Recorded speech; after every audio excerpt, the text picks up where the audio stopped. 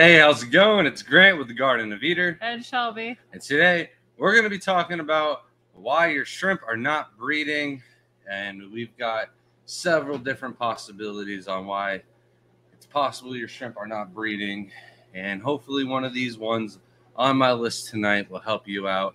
If not, and you've got a maybe a specific question or an issue that you want to bring forward tonight, um, you can uh, ask that in the chat and uh, we'll be glad to help you out. But for the most part, if your shrimp are not breeding, a lot of that has to do with age. Uh, depending on when you get your shrimp uh, and where you get them, they could be anywhere from one centimeter to three centimeters, possibly smaller. But generally speaking, most sellers uh, that are homebred will sell their shrimp around one centimeter in size.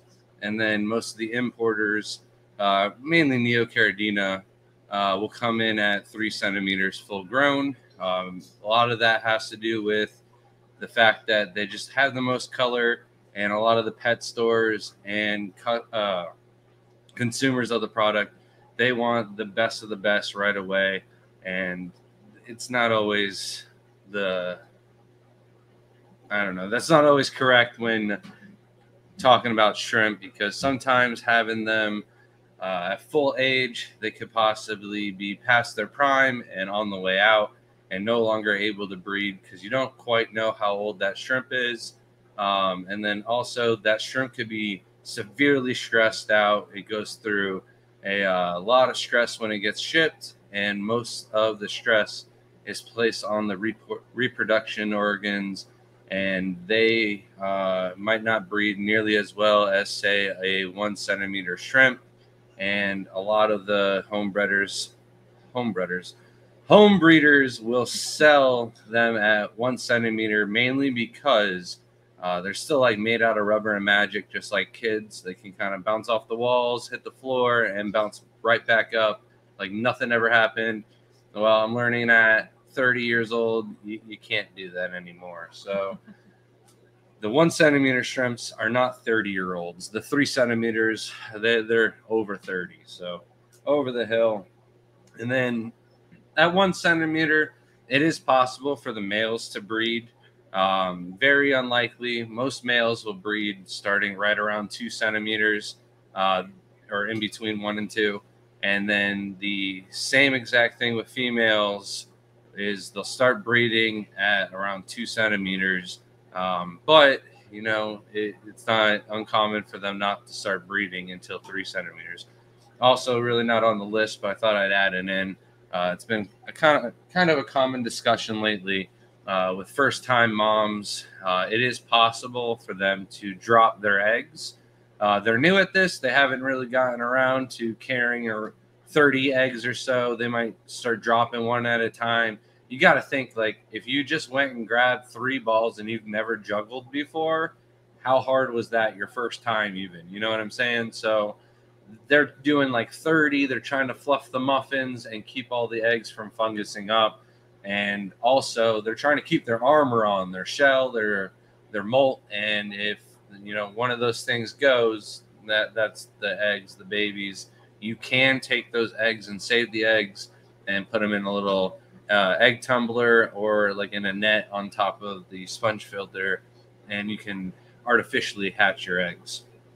But um, yeah, hopefully that doesn't happen. But if it does, don't don't be too upset about it. Um, then the next major thing that um, we have in the hobby, and it's really not like a hobby of breeding shrimp a lot of people call it like keeping water. You, know, a lot of times you're just keeping the right water, making it pristine, the, the right pH, GH, TDS, and stuff like that. As long as you can master that, you could really master a wide spectrum of different fish and, and invertebrates. So, the main thing and reason why shrimp aren't breeding is going to be pH for Caridina. If you have the pH a little bit too high, they're not going to really berry up. Uh, they know that simply the babies are not going to be able to molt, and it's just kind of a waste of nutrition and nutrients and stuff like that. And then next is going to be uh, the, the the solids in the water. So the minerals, uh, Caridina, it, it's GH and general hardness. Um, with Neocaridina and a lot of other species, the KH plays an important part. If you don't have enough KH in your water, you'll have pH swings. So in the morning, you might wake up and you've got a really, really low pH because overnight, without the lights, the pH is going to drop. And then throughout the day, your pH slowly climbs and you can end up with like an 8 pH or something like that. And then again, overnight, it's going to drop. And the shrimp really do not like the pH swings too much. The adults might be able to survive and live in it. However, the babies are just going to uh, get eaten up with the pH swings and don't stand a chance to molt. I got a balloon nose. Welcome in, everybody. Give Grant a minute. Matt, flour. So it's not alcohol. No, flowers work a little bit better. Uh, welcome in, everybody. And I saw a question. Mario asked, "Do you breed Caridina outdoors as well?" Currently, we do not. Um, we do plan on setting maybe one of the ponds up for Caridina. Has been talked about several times. No, there's tangerine tigers in one already. You already put them out there? Yeah, I, I finally did it. Are they breeding though? Not yet, because I did it right before the winter. So, So- I wanted to see if they could survive the winter first. If they can do that, then I, I think they should be able to survive the summer. Uh, where I have them is like complete shade. They might get two or three hours of direct sunlight a day, and it's early morning. So uh, I think the water temperature stays pretty in the low low uh, 80s on that tank. And as long as the shrimp don't have any bacterial infections or anything like that, uh, I think they'll be able to hack it. All right. Then, if you don't have the right KH in your water, your pH will swing and stuff like that. However, if you have some limestone or crushed coral in the tank, you don't necessarily need that KH. So there are ways around different parameters in breeding shrimp. Uh, there's several different methods and stuff like that. I like to go with the easiest, and for me, my tap water has a bunch of KH in it, so I just fill up all the tanks with inert substrate and tap water, add a little bit of dechlorinator, and the shrimp are good to go, and the pH levels stay real stable for our neocaridina. Uh, caridina, we do uh, the GH only minerals, so there's no KH in the water, and what's buffering the pH is the aqua soils. Uh, you could use peat moss, um, but I don't know anyone out there. Um, maybe that's a challenge for somebody. Maybe do a peat moss tank and see what happens. But uh, share your info, info and let us know what happened for sure and send pictures. I'm really curious about it. I've just never done it. Maybe you should do the peat moss and I'll do the pistachio shells in a side by side tank. And we'll do like tigers or yellow King Kongs or something. All right. Then you got your nits, your nitrates, your nitrites, uh, and your ammonia. Dr. Anthony is here. Stop making him mad. oh, look, we lost him. I'm just kidding. But anyways, Um, We've got Zeppelin said thought it was Dean night. Oh, we Dean night was last night on Lucas's channel. I'm sorry, we dropped Dean off at the airport today uh, at like four o'clock. Uh, we had breakfast, went and saw uh, Consolidated Fish Farms. Shelby and myself have never been there, um, and so we took Dean. Lots of angelfish, but um, you know, I, I was expecting a lot of angelfish, but he had a lot of other stuff too. So it was, it was a really nice uh, second generation fish farm fish store. It was really cool. Um, but back to the ammonia and the nits, uh, those can burn the gills and cause the shrimp to not be able to uh, get proper oxygen. And without that proper oxygen, uh, the shrimp aren't going to berry up and be able to breed and do what you want them to do. Um, oxygen is really important. If you just have a tank and it's stagnant, you don't have any plants in there or anything like that, your oxygen levels are are going to deplete. I mentioned we were with Dean uh, at LRB's last night, and Dean was going on about how it's the quietest fish room he's ever been to because Lucas has absolutely no filters, no bubbles, or anything going on like that. But what he does have is a ton of um, plants growing in his tank, dumping oxygen into the tank so that way uh, the shrimp have everything that they need. He uh, makes sure the water is all set up and filtration. And, you know, even though they're not doing water changes, that man sells enough shrimp that he's taking out water and adding in fresh water every now and then. So that's all his tanks really need. Um, but the more oxygen that you do put in the tanks, the more water volume, etc., the more babies you will get.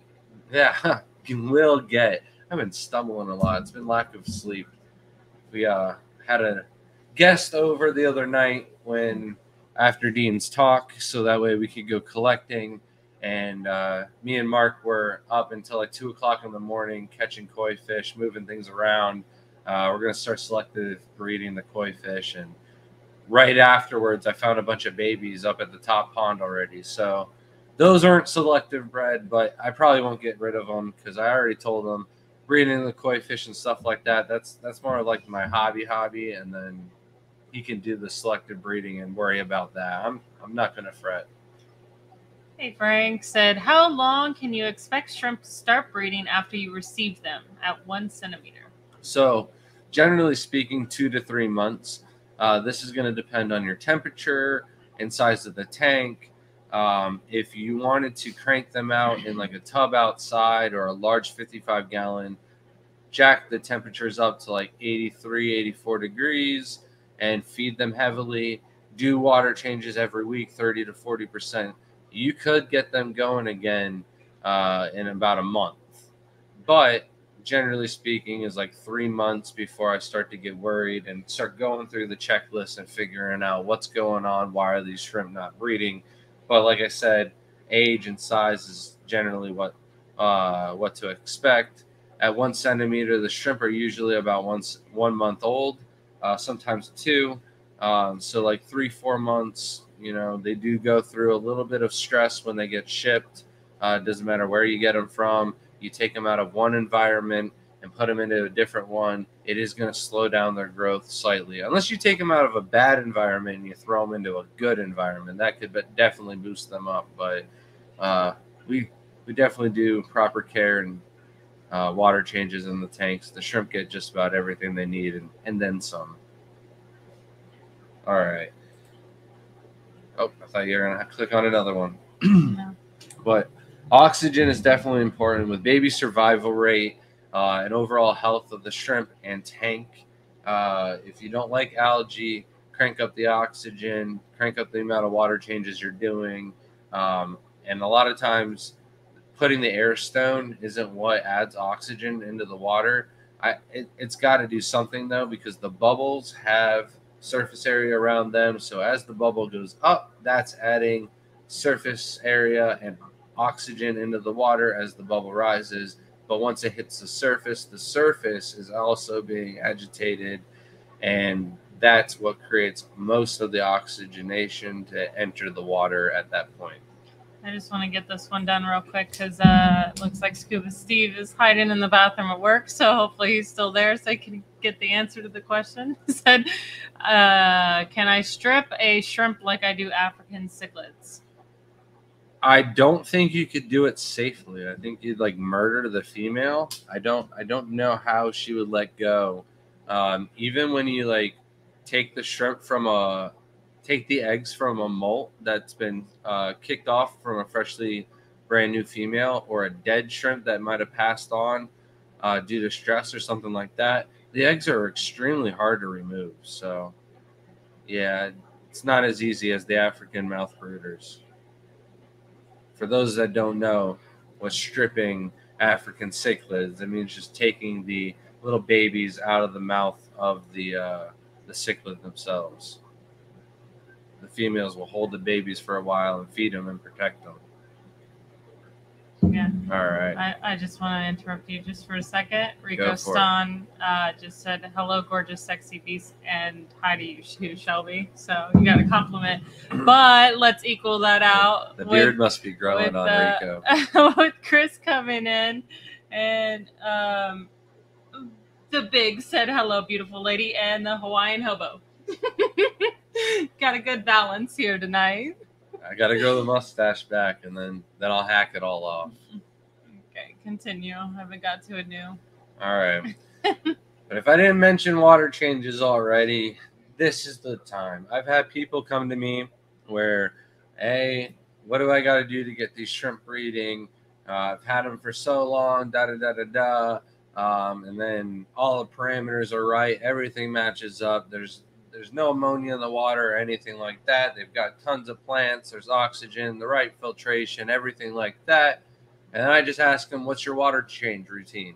oh well i don't do water changes because they've watched one of lucas brett's videos or there's like that other google search and stuff like that where oh they they don't do water changes or they don't like water changed water and stuff like that or they need aged water and stuff well it's not exactly true uh, lucas does a great job at you know taking care of his shrimp and stuff like that but like i mentioned he is selling shrimp and taking water out of that tank and replacing it. So it's not like he's doing water changes, but there is some water replacement therapy going on there.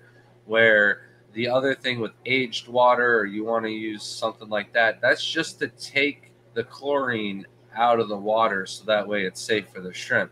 You can just simply add prime and then you don't need to wait at all before doing your water changes a lot of times we'll add prime straight to the tank and then fill up. There's a Cuban tree frog eating moths on our window. Ah, I don't like the moths, but I don't like the frog either. It's a lose lose situation. All right. Um, I spaced. The water changes. Yeah, the the chlorine is not going to be an issue if you just add the prime to the tank and then fill up the tank. Uh, the shrimp won't mind. Generally speaking, when when adding the prime, your t- total dissolved solids will be raised by 10 uh, for the proper dose of the tank. Um, but water changes do a lot. If you are trying to get the most out of breeding, get the most babies, the biggest, largest survival rate possible, water changes are going to help a lot. Also, get them shrimp growing and moss growing a lot faster. Uh, You're trying me tonight with this. Gar Gar Garcia Aquatics here. The five dollar super chat. Thanks, Garcia Aquatics. Welcome in. How's it going, man? I'm doing all right this week.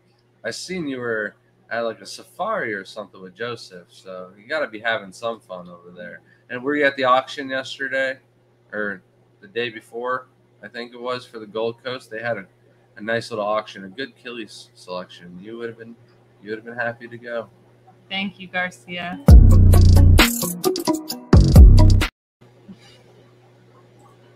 But of course, we were at Dean's Talk. Oh no, we were collecting on Sunday, and then went to Lucas Brett's house. So the four-hour drive from my house to that club meeting for the auction is a little bit too far of a stretch. Not knowing exactly what's going to show up. Um, I see Dr. Anthony in the house. Uh, you guys want to go and check out the Ornamental Fish Research Center. If somebody could please drop his link down there. Uh, he is selling these raffle tickets. They are $50 each.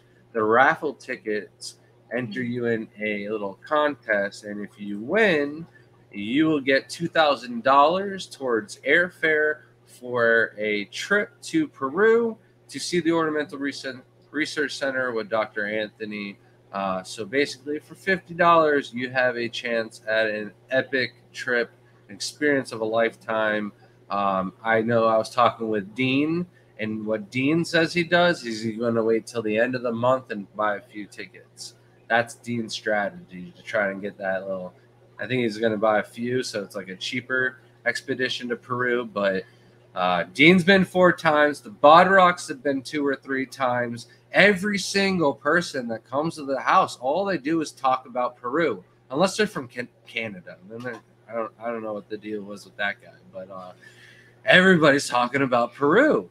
So I think next year we might have to schedule a trip, regardless of whether or not we win that raffle ticket or not. But Only You'll- you'll be like 10 competing against me in the raffles. And if you went to the Keystone Clash, you know I got I got luck in raffles. If you've been to anything else though, I never win. it was just the Keystone Clash. Oh, we do win. We win at clubs, but it's for angelfish. No, the kids win. I never Yeah. win. Give the kids the tickets and then eh, get a better chance. But banquets. So it. I would like you to help this person. I have six cherry shrimp and they're not breeding. Having a hard time telling if any of them are males. All right.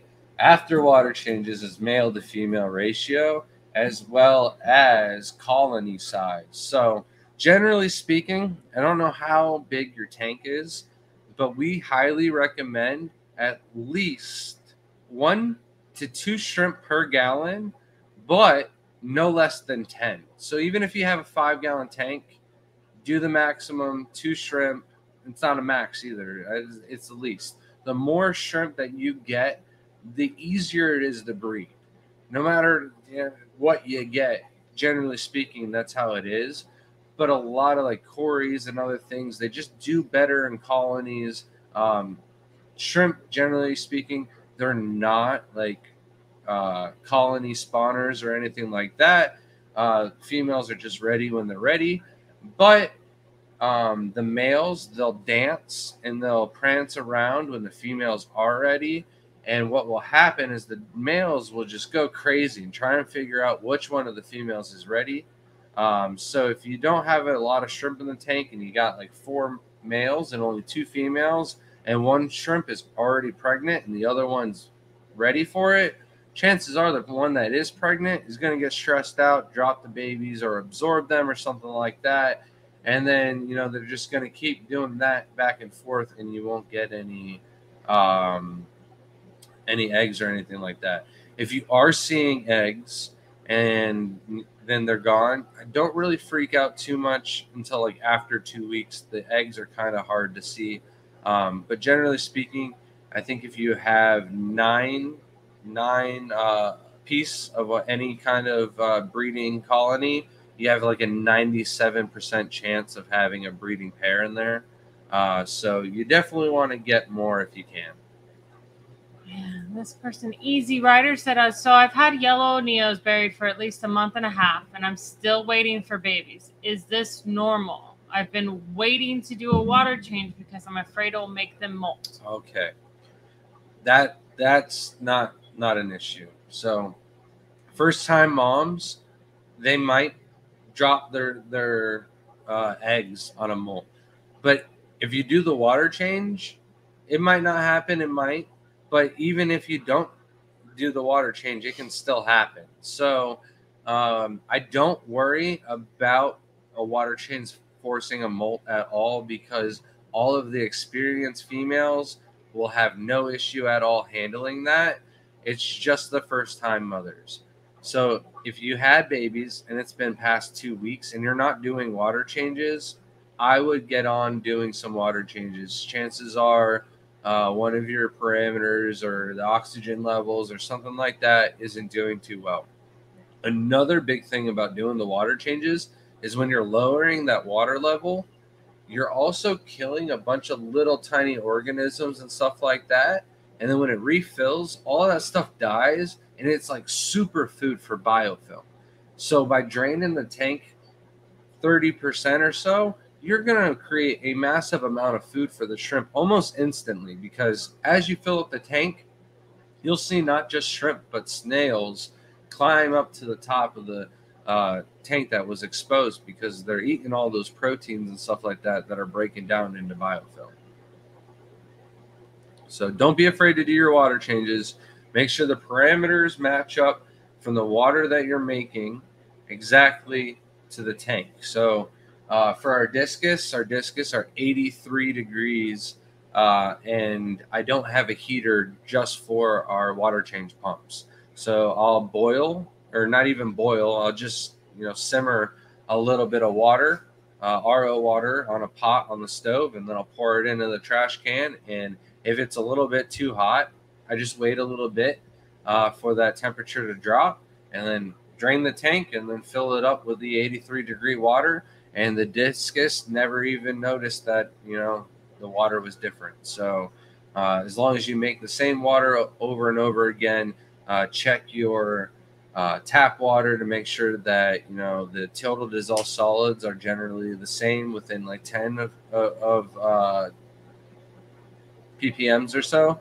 If you do uh, test and it's over 30 or something like that, uh, feel free to call up your uh, water provider and see if they did any cleaning or changed anything lately.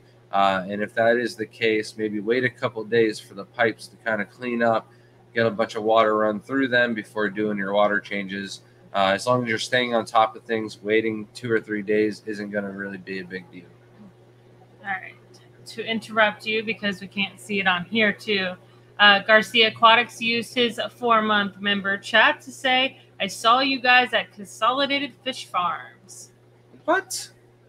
And you Maybe- didn't say hello? It might have been just like a post. Oh, might have just seen the post. I gotcha. Yes. We did. There uh, was somebody that came to the store and bought fish, and my kids, Shelby said the kids helped them get the fish or something Yeah. like that. So I was like, them the bags. so I was like, so Garcia, was that you? For just a split second, but Yeah.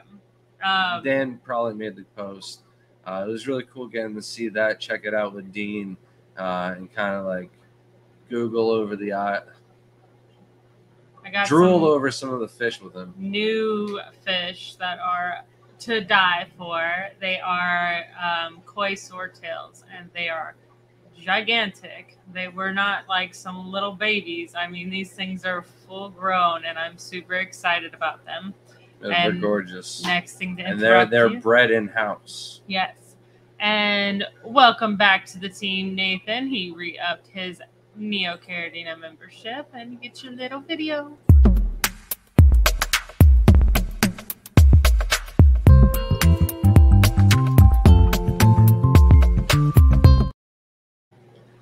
Thank you so much. We did ship. I remember signing them. We shipped out a bunch of the stickers last Mhm. week, so Yeah. I think we're all caught up. No, No, we're not all caught up. I'm two behind. All Two right. of them will be going out. It's our son's birthday tomorrow. He's turning 11. So super excited. We're going to be busy tomorrow, but um, they will go out Wednesday morning. And so, if anybody's worried or doesn't have one, email us at thegardenofeder at gmail.com. Let us know your YouTube member name and then your address, and we'll ship out your. I'll grab the sticker. But also, what do you get, Shelby? I wasn't listening. You get a 10%. 10% off the order with your members only code. That'll be at the bottom of your thank you know. It's going to be like right here on the side. Oh, Look at that. Fancy little sticker. That's what he was asking about in the email. So. Yep, So, just- we can get that to you guys. Just let us know if you got it or not. Uh, shout out Jeff Kane. Donated a bunch of memberships. So if you were one of the lucky people and received a free membership from Jeff Kane, feel free to reach out to us and get that sticker and 10% off code. Tax return season is here. Use that 10% discount and get 10% more shrimp. Eric coming in hot with the $20 super chat says, We love Grant and Shelby. I love that. Thank you. Thanks. you.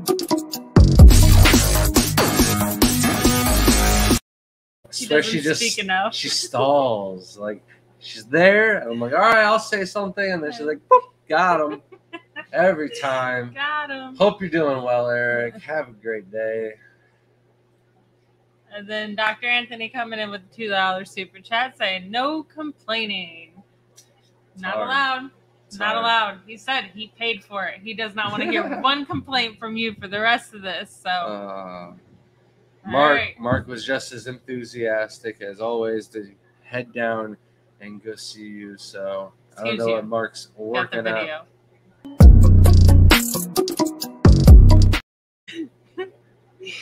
video. but I uh, I do want to take advantage of Mark because he uh, speaks Spanish and going down to South America. That's a, a good thing to have someone on your team by your side that wants to go take adventure adventures. I know Dr. Anthony can speak Spanish quite fluently, but uh, he's not going to want to com- compete with all my shenanigans that me and Mark are going to run off and do. Continue. All What's your next one? So the male female ratio and the size of the colony is definitely going to matter. Um, and then food content is very important.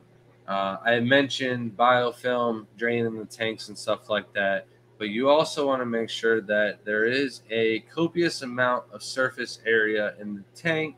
Um, the Lucas Brett's way is making a bunch of little rock piles in the corners of the backs of the tanks. Uh, those are great for two reasons. One is it gives like a little nursery sanctuary for uh, the mother shrimp to go lay their uh, babies because they don't lay the eggs, but hatch the eggs out of the babies and then basically place them uh, in that little rock pile. Uh, in that rock pile, there's going to be a copious amount of little tiny uh, critters and stuff like that for them to breed.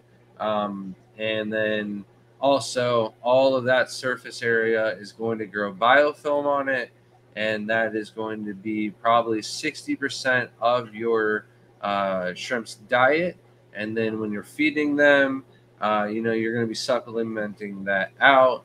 I know Lucas only uses the Tetracolor granule pellets. Uh, we use that for our fish, but we like to mix it up just a little bit.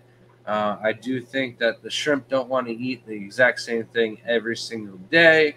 Um, they're not really because they're eating biofilms and all this other stuff, but uh, we do have a rotation of seven different foods that uh, we feed every other day. So every two weeks, you know, we're rotating through all of our foods.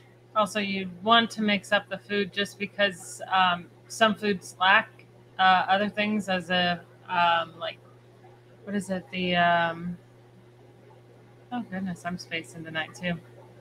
In order to molt, what is it? minerals?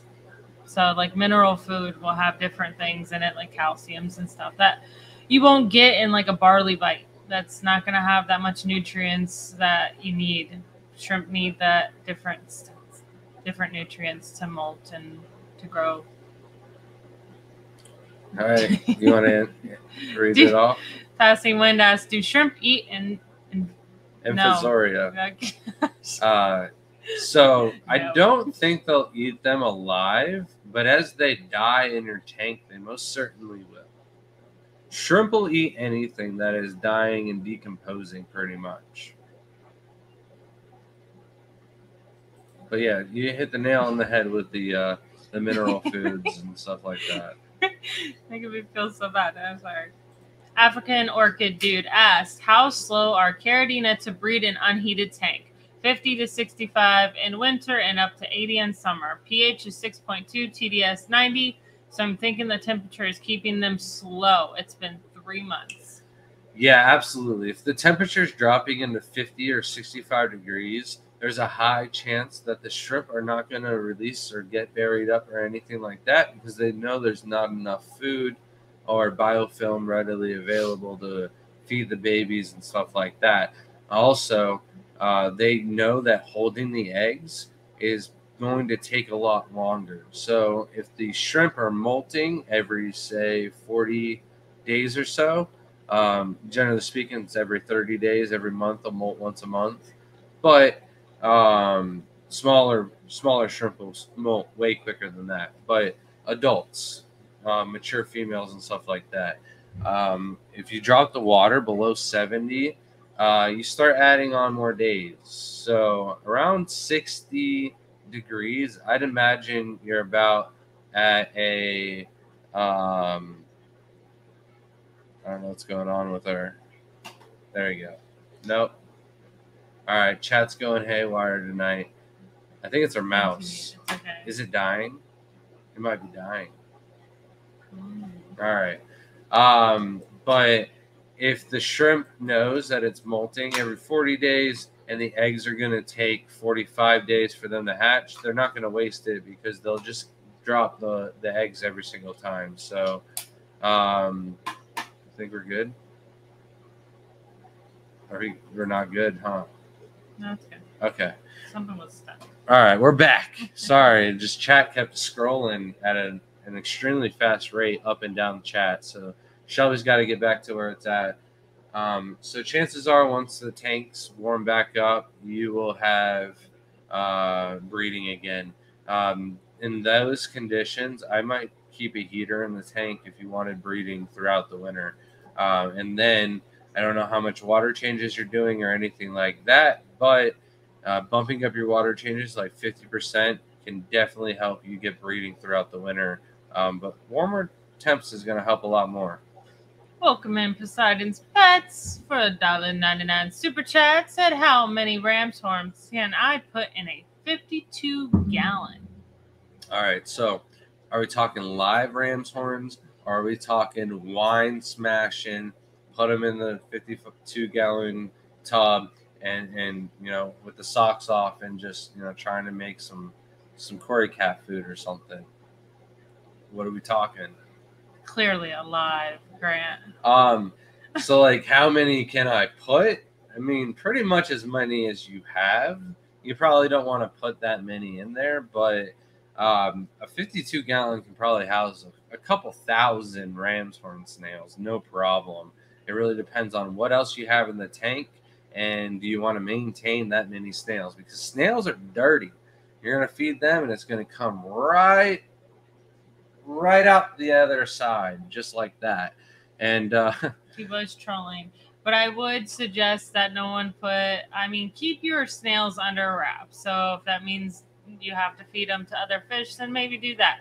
But um, 100% think about feeding. If you have to feed that much, you're going to cause more waste and not just feeding that much. It's if you put them in a shrimp tank and you're putting that much food down, you don't know for sure that the shrimp are all getting enough food compared to how many snails you have. They do swarm those piles and it is harder for them. They do get little specks and everything, but I would say cut down the amount of uh, ram's horn snails or pond snails if you can. You don't want like hundreds. You do want a good colony for sure because it does provide a source of food for them at, that way as and well. And then not only food, you're gonna have to worry about calcium. So adding in a ton of minerals.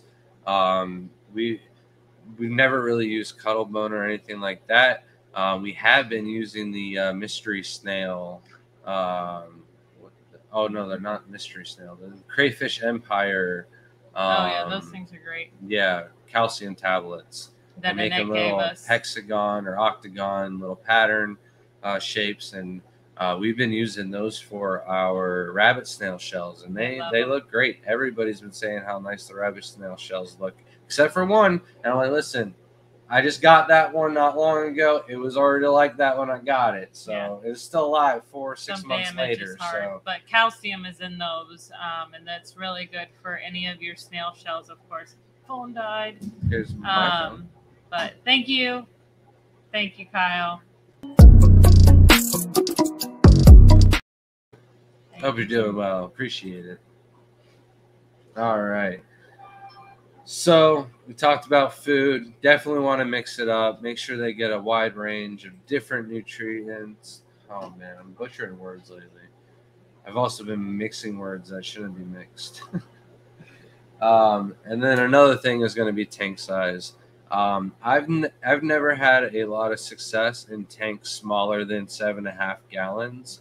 I've bred shrimp in five gallons and the little two and a halves and threes and stuff like that. Um, but it, it's few and far between, and they're a lot more work.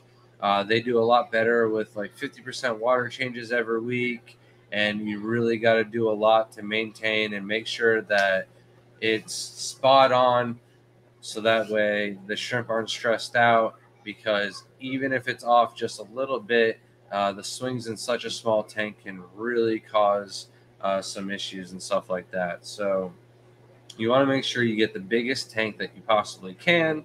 Um, the smallest that I like to go without having any breeding issues uh, with size of colony or the shrimp growing up where the size of the shrimp is 10 gallons.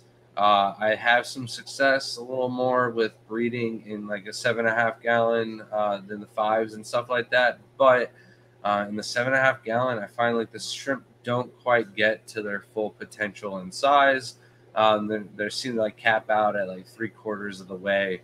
Um, I've kept them in the tank for quite some time now. Um, the green emeralds with the golden backline are in my seven and a half gallon fluval tank, and they have really gotten to the point where uh, the backline's growing over the side, but the the shrimp is still way way too small compared to the ones in the 55 gallon. So go big or go home, and turn your bathtub into a uh, shrimp tank. Is, is that what you're talking about? So, We're not doing that. but I'm trying to find questions. Sorry. that is Lucas's bathtub. And both me and Dean pulled out our iPhone and took a picture of that. Oh, it. There. It's got a bunch of plants in quarantine from uh, the Pasco Club meeting. 570 bags were sold after Dean's talk. I think there was 116 people in attendance for for the meeting or something like that. Um, our little club has really come a long ways. Uh, I, I'm really happy to be uh, the speaker host and be able to take uh, all these incredible people, take them collecting, and uh, really just kind of sponge all the knowledge I can off of them. Soak it up. You got anything for me? Um, there's a lot of questions. Shrimp just disappear. Why and how? Um, it is possible that there's fish in the tanks, or other hitchhikers such as dragonfly nymphs. Um, it is also possible that they're dying uh, underneath a, a rock or behind the filter or something like that, and you're you're not seeing dead bodies, and the shrimp are just eating them. Uh, the shrimp dies, like right when you turn off the lights, uh, maybe it feels stressed out because it can't see the predators coming or something like that. Um, then next thing you know, uh, all the shrimp are eating that while you're sleeping, and then you wake up and you didn't know that your favorite shrimp got eaten, and you, you're looking for it for weeks before you you give up, and you're like, oh, I must have got cannibalized. Yeah, they really do tear apart their shrimp really fast. Um, that's also a sign that, like, say something did die and they go to tear it apart and it's gone really fast. It could be because you're not feeding enough as well. So it's And a it- good sign. It could also be not a good sign. you have a high male to female ratio and your males are stressing out your females um, and in, generally speaking when shipping or when parameters hit the fan or something like that it's your big females that are the first ones to kick the bucket. The males those are kind of resilient. They don't really got a lot to lose not a lot to live for either. So they're just swimming doing their thing. And then the juveniles and babies they're they're a lot more resilient than the adults period. Last Box Hero says, Do you guys only know freshwater shrimp? I recently got peppermint shrimp to breed for cuttlefish food. sadly, I know things about peppermint shrimp and saltwater shrimp, but you don't want any of my recommendations or suggestions or anything like that. I don't know enough. Um, we tried the sexy shrimp and we did it in a small five gallon tank. If I were to say anything, go big. Do like a 40 gallon tank or something like that with saltwater. Um, I think the peppermints eat starfish. I, I can't I can't remember exactly. I know one of the shrimp uh, really like to eat starfish, so um, there's some really invasive starfish that you could probably get and grow in one tank and then use those as feeders. But again, I haven't looked into saltwater in years. I should I should be in doing it though. I'm slacking. Yeah. Daniel Velez said, just lost my pure black line last week after a water change. I do the same water changes for both the Yellow King Kong and pure black line. I don't have a clue what happened. Yellow King Kong are okay.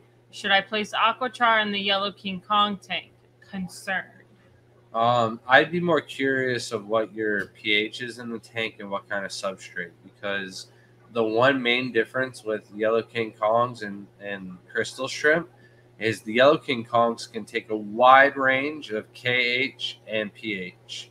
Uh, so if the pH in the tank is, is a little high, um, you should test not just uh, the water going into the tank, but the tank itself. Uh, generally speaking, right after the water change is done, and then the next day uh, to make sure that your soil buffered the water down at appropriate time. Also, uh, I don't know if you mix your water uh, the night beforehand, um, but doing that will gas out your water, and this will help uh, a lot with dropping the pH of the tank. And uh, you know, doing the slow water changes can really help with the pH swings. If your water isn't low enough in the barrels or, or uh, buckets when you're mixing your water, dripping it slow can definitely have its advantages there. But if they're perfect, then you don't really have to worry too much about uh, filling up the water that fast, as long as you're not mixing up the the substrate down below. Um, aquachar though, um, it, it's generally speaking, you, you'll see the shrimp freaking out. Um, but it, if you have some and the yellow king kong tank doesn't, you, it's a good little thing to throw in the tank. Um, for like a 10 gallon tank, it only costs two dollars and fifty cents. So you might as well just throw that in there as a precaution. It's not going to hurt. And passing when the store does take um, Amex. Get That was a Shelby thank- question. I had no idea. American Express. Oh, okay. Glad you work in retail. It's not for me. Um, the next thing I'm going to go on is lights. Uh, lighting can definitely help with uh, breeding uh, and trick them in the wintertime. So if you're not getting a lot of breeding in the wintertime and you're just using like an eight hour time cycle or something like that on your light timers, uh, try opening up the blinds or uh, turning on another lamp or light in the room. Uh, increase the amount of daylight that the shrimp are getting and tricking them into thinking it's a longer summertime rather than uh, the shorter winter months. Uh, also, the longer light cycle is going to help increase the amount of biofilm in the tank. Uh, the colder water is is going to hurt the growth of biofilm, so more light can definitely help reverse that. Um, and then the lack of lights, uh, it, it, it's kind of going to affect the pigment of the shrimp a little bit, and you're not really going to be able to see uh, coloration pattern and stuff like that. So I definitely encourage having the strongest lights you possibly can uh, without you know algae just going out of control. Um, one thing I do want to say, Nathan, he said I'm going to be restarting 10 gallon. I failed as a shrimp keeper. We all make mistakes. Things happen, things that we don't want to happen. Um, you're never going to be perfect at anything, but you know, don't be afraid to reach out to me or Grant, and maybe we can start crossing things off the list to find out what went wrong so that it doesn't happen in the future. A lot of times it's really hard to tell off of just like one thing. So, like, if we could go, well, let's test this to this to this, and we'll usually conduct and figure out the reason it's happening. So I did have this for a little bit further down the list, but I, I'd like to bring it up now at this time because uh, we have a member in our club. Uh, he's an active member, goes to both Tampa and Pasco meeting. Um, bought not just shrimp off of us, but shrimp off of other people. Um, and, you know, just wasn't having any luck, couldn't figure it out. Um, and I basically ran through everything on this list.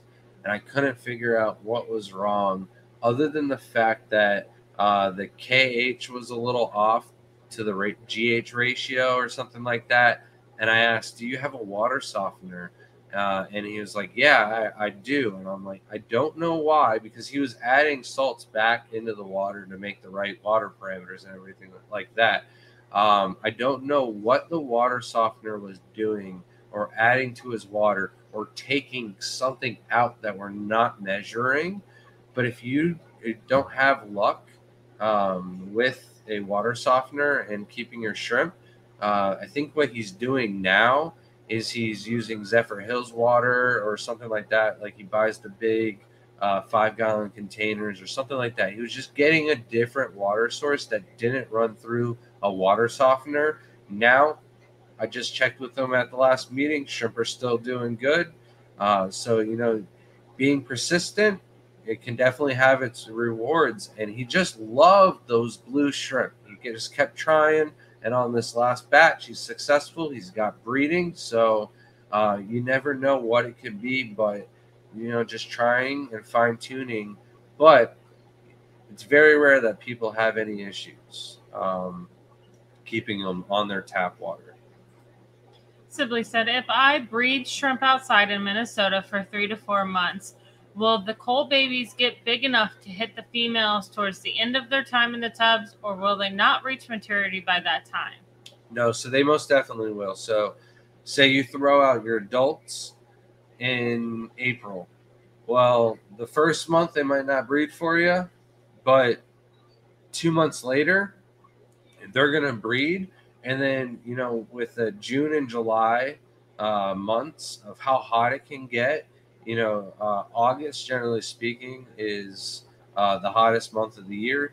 Um, and that can definitely uh, crank up the growth speed and the hatch rate and stuff like that. And you could get some ugly males in that last month that are going to tag a bunch of females, uh, or generally speaking, a little bit sooner if those shrimp breed uh, within one or two weeks of you putting them out. So uh, it is generally a little bit risky, but I, I think you can do more than three to four months. I think you wait till the end of April, May, June, July, August, and then the end of September, um, you know, you're still not going to have frozen uh, ice water or anything like that. And then uh, you'd probably be good until like the end of October, I'd, I'd imagine, before you get ice on the uh, on the the pond that's going to damage the shrimp or make it hard for you to catch them or anything like that. The only way I think the ice is going to damage is if you get like a flash freeze and the shrimp freeze on the top of the ice, like you see the the fish do that sometimes, half in the fish, half in the water, half out of the water. Aquatic moose says, "Do shrimp have emotions?" I mean, they definitely get scared. They definitely are mean, so they gotta get angry somehow. I mean, we've had some ones that just murder shrimp. So I want to call it the the Punisher shrimp. Yeah, he would just everybody. He, he just he was mad, mad at the world, holding a grudge against everyone. So you gotta have some sort of emotions. We just not we don't know how they display it, but. And then there's always those shrimp that are just real jerks when it comes to feeding time. Yes, they'll take the whole food and just disappear. They it's got to hurt the other the babies, feelings, right? nothing. It's got to hurt their feelings. um, Larry D, welcome, says, What is a good scape for orange tigers? One that you set up 30 days ago and then you never touch again afterwards. Mm-hmm. uh, I want to stay away from Seiryu stone or the elephant stone, anything that's going to leach um, different phosphates and KH and stuff. Uh, wood is great, like and what Shelby plants. recommended. Uh, you could use some dragonstone. Dragonstone's inert, uh, not really going to cause any issues. You just got to clean the crud out of it. Uh, Riverstone's real good if you want to put it at the bottom of uh, some nice wood, uh, like Shelby did for our angelfish tank. Um, that's really nice. But the main thing is, is like, uh, you know how you have the gardens that are like a zero scape where you don't have to water, you don't have to weed or do anything. It's all like cactus and succulents and stuff. There's zero work to be done. Uh, with shrimp, you want to kind of do like a zero scape where you don't have to trim any of the plants or move anything around or worry about a carpet or anything like that. So um, that's going to stay true, especially for the orange eyed tigers or the tangerine tigers. I'm sorry. These said these fish tanks that I I have, I just got that name. I have a planted tank and water is clear and clears up every time I mess with it. Would you still recommend a water change? Um, yeah, I would, stick to a water change routine and and just be consistent with it. So for us, it's every two to three weeks, and we do around thirty to forty percent. And you know you're gonna get the best baby survival rate. And as long as you know you don't do rushed water changes and the parameters aren't off or anything like that, uh, then you're not going to have any issues at all. And the shrimp are actually going to produce and have more numbers for you. You know, like a bird shakes its feathers. That discus just like shaked all its fins underneath those other ones. That was weird. Hmm. Um, but for sure, always do a water change. I mean, it it doesn't hurt to do a water change unless you like put some random water back in. But will hurt is uh, you know ammonia building up. You can't physically see anything becoming a problem. Like you could have ammonia spikes and not see anything wrong with the tank. It could look perfect, and ammonia spike can kill all your fish. It just happens. So just because it's clear doesn't mean there's not other issues. All right. And then we talked about wintertime a lot. Um, we're almost coming to that end of the season where uh, the whole uh, pressure in the atmosphere and whatnot is causing my shrimp not to breed. So there's no point in doing water changes or worrying about the shrimp room at all because they're just not going to breed anymore. Um, I've got friends in Minnesota that get breeding all year round in their basement. Um, they do large water changes, they feed, um, and it's really not any issues at all. Uh, they really do well if you just over take care of them in the wintertime.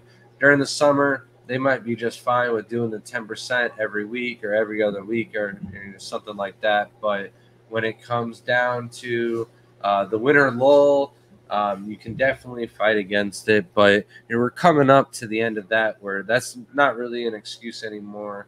Um, so, generally speaking, uh, the beginning of April, uh, you should start seeing pregnant uh, females and you know just doing normal water changes and stuff like that it's definitely going to help pick up uh, we do have like generally speaking like five tanks here or there um, that just no breeding whatsoever and then um, you know doesn't matter whether it's wintertime spring fall or summer we always just have five tanks that aren't doing well so uh, certain shrimp might do it every single winter or something like that. Maybe that's just the cycle that they're in. Um, maybe the temperatures drop slightly in the house. Um, in the summertime, because the heat index has gone up so much in Florida, our AC was only set to a certain um, standard or, or need uh, for the size of unit that we had to keep our entire house AC'd at the temperatures we want. Um, but like we used to do landscaping. Shel- Shelby didn't, but my family did. And we try to do as much work as you possibly can before noon because noon, one, two, and three o'clock, especially two and three o'clock, those are the hard, hottest times of the day. And if you can get the majority of the hard work done in the morning, your day wasn't that bad. Now I feel so bad driving around town and seeing all the landscapers because by nine o'clock, it's brutally already hot. The heat index has definitely risen, uh, and it's just hotter. So um, maybe in the winter, we'll keep the house at 70, 72. Summertime, it'll be 72, 74. Thanks, Vibes Aquatic says I'm back, lurking, watching an annual shower. Ooh, love it. $1.99 super chat. Thank you so much, Vibes. Drafted I gotta get with you vibes and find out what shows you're doing this year. Uh, it is we got our first show next week, uh, and we haven't been doing one in a while. So I thought it was tomorrow. I got my dates wrong. Yeah. Um, but it's it's definitely coming around to that time where we're going to be looking forward to seeing some of you guys again, and it's going to be show season and nonstop. Thank you so much, Tolan Landenberger. Love it. 499 super chat says for a shrimp only tank, how often and at what percentage should I change the water? So, generally speaking, I like to do 10% per week or more. Um, 10% at least. Uh, 20% every week is like a really good uh, method to follow. If you can't do them every week, though, have no fear. 30 to 40% every other week is is just fine. Uh, we do sometimes uh, 40% water changes every three weeks. If we're doing shows or have a lot going on, uh, it's just not possible. But generally speaking, I try to rush as fast as I can to get all of the tanks done every two weeks. Thank you so much.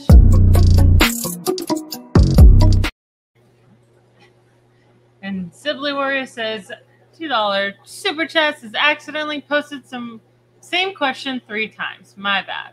It's okay. Yeah, no problem. I hope I answered it. Did we answer the question? Maybe. Oh yeah, maybe like down below. We'll oh. we'll see it eventually. If I didn't answer it, somebody help me. Send me a message. Tell me what the question was. Thank you so much. All right, back to the topic. Why go find that question.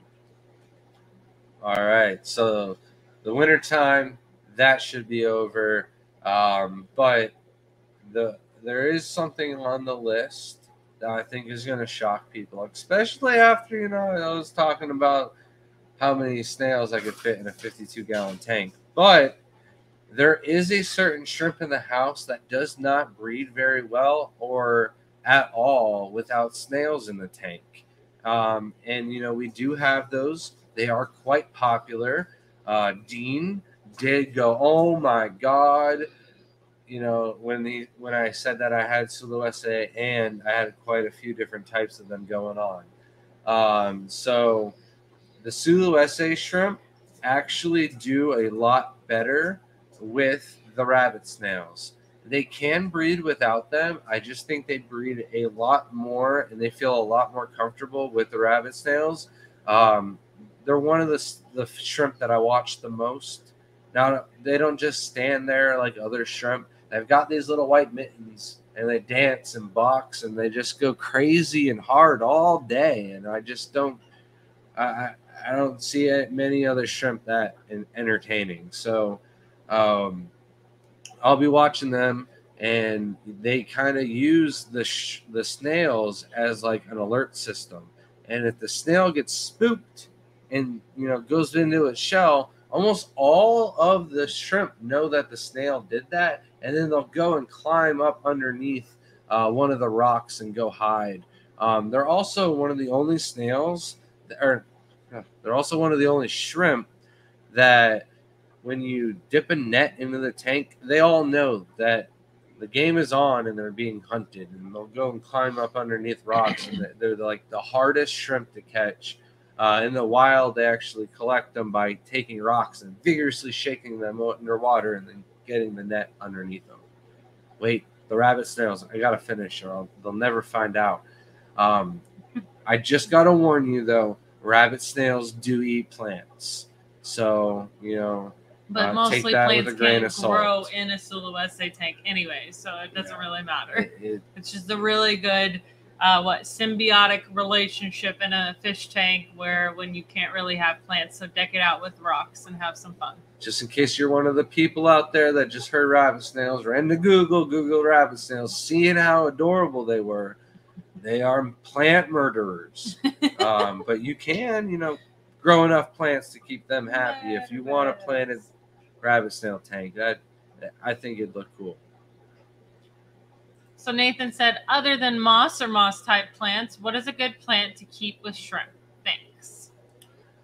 Boos, Anubias, um, a very slow growing crypt that you're just going to be happy with the fact that one day it's going to shoot a a uh, a runner that is going to pop up and grow right in your favorite view of the tank and you're not going to be able to move it.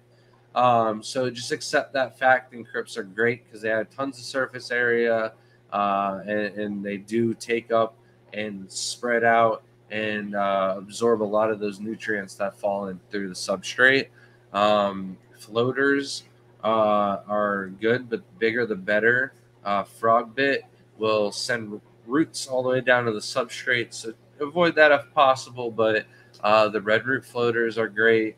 Uh, the Salvinia is kind of e- easy to shake all the babies off and thin out uh, and help you keep those uh, nitrates down.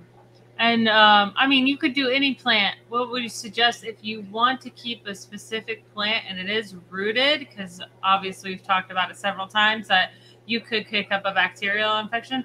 My suggestion to you, if you want a specific rooted plant, is to get those little 3D printed pots and throw them in your tanks. Some people don't like it, but you could also to do that and then like pile rocks around it so it kind of like hides the fact that it's in a pot and it's not actually rooted into the the substrate um, so you could get away with you know some of the other plants like that I gotta advise not to do that because if you wanted to take the plant out and move it and then put it back in, every time the water goes back in and it just it messes up the substrate. I guess you could drain the tank, put it back in. It's just it's risky business. I don't like pots. make it work Coro said, doesn't prime and other water conditioners slash dechlorinators reduce hatch rates? I don't remember about shrimp, but I know it negatively affects hatching and fertility of zebra danios in the lab. Um, I I don't think it has any issues with our shrimp outside. I haven't done any uh, tests, and this is the first I've ever heard that it reduces fertility rate. Um, But, I I don't mean- know um, many people that you know de degas their uh, shrimp tanks, degas the uh, tap water for their shrimp tanks. Almost everybody adds uh, prime or the the Seachem Safe, uh, which is the powdered prime, or the uh, the chlorine uh, crystals that remove the chlorine. So The only reason I would think that this would affect anything, especially if they were doing a test, most of these zebra danios were done in like two gallon to five gallon tanks. Now imagine if they were not pre-mixing the water with dechlorinator and they were just adding dechlorinator into the tank after they had filled it, it could affect the danios in that way um, and hatching and fertility rates. So I would say like you'd have to be mixing it at the same time. And if it was poured straight onto say eggs why like they're not hatching that like that's a strong chemical going straight onto an egg that would be bad regardless. So i mean it could happen but it's very rare that it would do anything to the shrimp. As long as you're mixing it right and not overdoing it. Some people can you can overdo prime. Yeah, so I don't think they overdid it in a lab, but i mean it's Zebra a small Danios. tank and you pour it right in it's going to affect the hatch rate zebra danios are also prone to cancer. So maybe uh, you know just everything that it can possibly cause cancer is going to reduce the uh, birth rate. So it's possible. So supposedly it makes the fish egg shell or capsule or whatever harder to break through. That's strange. We're gonna have to look into that. 88 Chevy said, just placed an order tonight. Thank you so much. And what's your water change refill method? Hose size, etc. You are all great. Thank you. It's a Sicce. Um, so uh, we've got a Sicce pump. I don't have the proper pump. I've got a pump that's like 2,500 gallon per hour. And it's way too powerful. It's great for mixing salts, um, but not the best if you want to kind of dial in a tank and then just plug it in and turn it on. Uh, generally speaking, I, I, I way underjudged it and it's kicking out way too much water. So um, I do have the uh, the zero pumps from CJ on the way, and uh, I don't know what size tubing or anything like that, but it doesn't really matter because that's going to depend on the pump. Uh, we've gotten different pumps and at different gallon per hours, but for us, we've got the 10 foot five rows of tanks, and uh, we need a head height that's going to get us that high. So uh, we need a really powerful pump for that reason. Most people don't have that issue and can use like a, um, a smaller 300 gallon per hour pump and get away with doing their water changes. And then what we do is we just put a T valve, and uh, that helps me control the flow and rate of the water that goes into the tank. And then AquaTop, uh, their 323 gallon per hour uh, tank came with like this little filter uh, nozzle kit for uh, I, I don't know the backs of their tanks or something like that. uh, as a replacement, and uh, I I saw that it was the perfect thing to hook onto the top of the tank, and then it curves up, uh, so that way uh, the actual device doesn't dip into the tank, and then um, I just do my uh, water changes by trickling it in from the uh, top of the tank, basically. But that prevents any cross contamination from one tank to another. So getting Nona says, if you're going to buy raffle tickets to donate, who would be your three picks? I would I would have to uh, randomize it. Could not pick three three people, but oh, donate. I don't know what the question is. like if you were to buy raffle tickets and then donate them to someone, who are the three people you donate to? Donate them to Like, who would I bring with me, or who I would just give the tickets to? to tickets. I, I don't know. Oh, maybe if you buy raffle tickets to donate, yeah, who would be your three picks? Obviously, we would just randomize it if we were to donate. Yeah. If we're going, obviously it's just me and him. no, I'd have to take Mark. Mark Mark speaks Spanish. then me over no me habla en español. over me. No habla en español.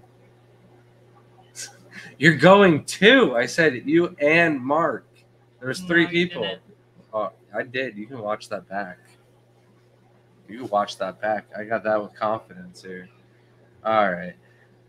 Back to the breeding. If you ain't having enough breeding, uh, you definitely uh, might want to make sure that there's enough hiding spots in the tank for you. Did I skip over fish? I think I skipped right over fish. Anyways, we'll get back to fish. Um, if, if you're not having like good little nooks and crannies for the females to uh, get away from the other males, uh, when one female is releasing hormones, the other uh, males in the tank are going to go crazy until they find that female. So if one's berried, uh, she doesn't have anywhere to go and hide, and those females can still tease her, uh, mess with her, and stress her out. There's a chance that she's not going to breed uh, and absorb those eggs or drop them all together. So uh, definitely want to make sure that there's some moss, rock pile, um, some decorations or something like that in the tanks that the pregnant females can go and uh, camp out. Jess, welcome in. Haven't seen you in a little bit. Says, hey, are you all going to Aquafest? You may have said, and I missed it. I want to. I don't know how soon it is. Our planning might be horrendous, Hmm. but we'll wing it and get gumbo, and it'll be worth it. So, um, It's not it- too far from us. so it's not on bad. our agenda. It's on our to-do list. How well we're going to execute it, we're going to try though. We're uh, winging it this year. We try to be efficient, and we're We just got- not. We got a lot on our plate, and I've, I've made things a little bit more priority than others. Um, but one of the big things that is on our uh, to-do list is Jaden's room, and things were moving smoothly. And our plumber had not called us today on whether or not he's going to show up tomorrow. So Well, I shouldn't be showing up tomorrow, anyways.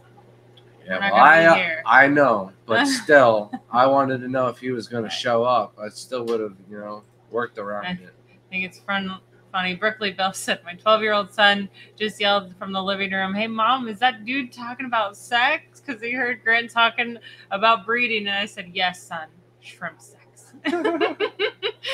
so funny. Yeah, sorry. And you got Alright. Nathan hooked on shrimp. Look at you, You're a shrimp dealer. Not bad. You're, you we are super far behind in Yeah. chat though. Mhm. I only got one more thing on my list, and it's just the crap on imports. Oh, we'll, we'll go. Jamie, do you ship shirts to Canada? I have not figured that out yet. Uh, email us about that. Why did I not will just send Chris a shirt for you? I knew that was coming. Yeah. Yeah. Dang it. But it's more expensive. They don't live near each other. It's more expensive for him to ship somewhere in Canada than it is for us to ship That's right. That's what it was. Yep. So we That's did why I we have did her talk to about remind it. me of the important things that I forget about. Oh man. All right. If you want to, oh, okay. Coro says, "Do y'all have leaf litter or driftwood for your aquatic isopods? I was reading that they require wood in their diet, but I wasn't sure how much that impacted their breeding, etc." So, one tank, there is a ton of wood. So, while I'm answering this, find the next one. We got to run through this. So, in one tank, we do have a ton of wood, and it's not even the tank that we sell isopods out of. The seven and a half gallon tank, which is our emerald breeding tank, doesn't have any wood in it. It does have a bunch of uh Seiryu stone, little nooks and crannies to explore and stuff like that. And we do overfeed the tank because there's a bunch of yellow king kongs in the tank and Malaysian trumpet snails. So they don't need wood. It's not a necessity, but I'm sure if wood is breaking down, they'll eat it. If I put shrimp outside for summer in Minnesota, if I choose the best females and one to two males, well, oh yeah, that's what it is. We found the question. It was just worded different. Oh, okay. Yeah, there we go. Found it. How slow do Caridina breed in unheated? Si- oh, someone asked the same question too. Hopefully, they got that first one right. Yeah, Sorry. we, we answered that probably the right when you asked it. Linda got her stickers today. Glad to hear. Uh, See, if that's you are proof member, we are getting them out. So the gardenofeder at gmail.com. I say that right? Com. There we go. That sounded weird. And why don't you ask? Do the imports. All right. So uh, I had mentioned before that the imported shrimp, there is a big toll uh, and stress load that goes on the shrimp, and a lot of that stress is placed on uh, the reproductive organs.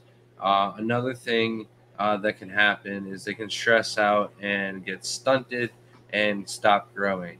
Uh, a lot of the imported uh, Caridina that I was buying when I was just a hobbyist and trying to uh, start breeding and grow out my own colonies. Uh, a lot of the ones that I was getting uh, around one centimeter would never grow and gain any sign size. They would always be one centimeter, uh, year and a half old, two years old. They just never put on any weight or anything like that.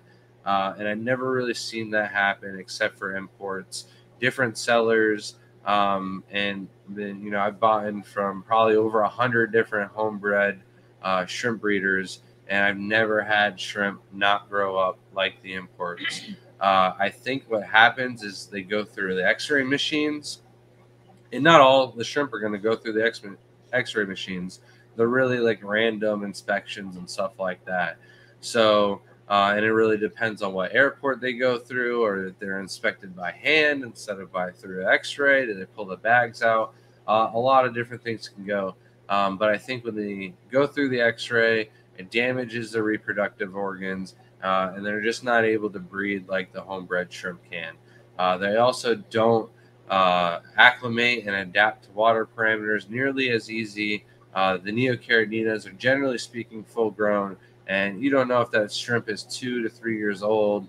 Uh, it can grow in your tank for a week, and then bam, it's on its way out, and you think your parameters are off when all it was was just a really old shrimp. Christopher Gonzalez coming in with a 4.99 super chat says, "Is a dirted plant aquarium capped with sand safe for shrimp?" Sorry for going off topic. So, a big issue with the capped aquarium sand uh, and dirted plants is that capped sand is going to hold down the fort. Um, but if you ever, you know, remove the little bit of sand, shift it, or anything like that, you're going to release the kraken, and all of those little tiny nasties are going to come out from the uh, substrate and go right into your water column. Uh, another thing is if you ever want to, even if there wasn't shrimp in the tank and you're going dirted aquarium uh, with sand, if you ever move a plant, even if you do it slowly, you're shifting levels whatsoever, one way or another, and this is going to lead to you know a dirtier tank than what you want. Uh, I I really recommend uh, looking into aqua soil or something like that, uh, and then you don't really have to cap it. You can if you want to, but It's a little less risky and uh, a lot less messy.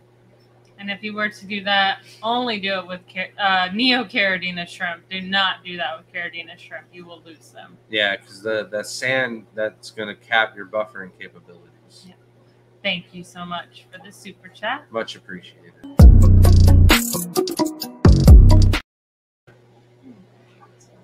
I lost my spot, so. I, that that's it. I, I don't really have any other. Uh, oh, fish. That's right. I forgot about the fish. So, uh, some of you have been around long enough. This story's probably gotten a little tiring on you. You're gonna get bored. Feel free to leave. I'm fine with that. But uh, the red cherries that I had in a 20 gallon tank, probably my main red cherry tank for years.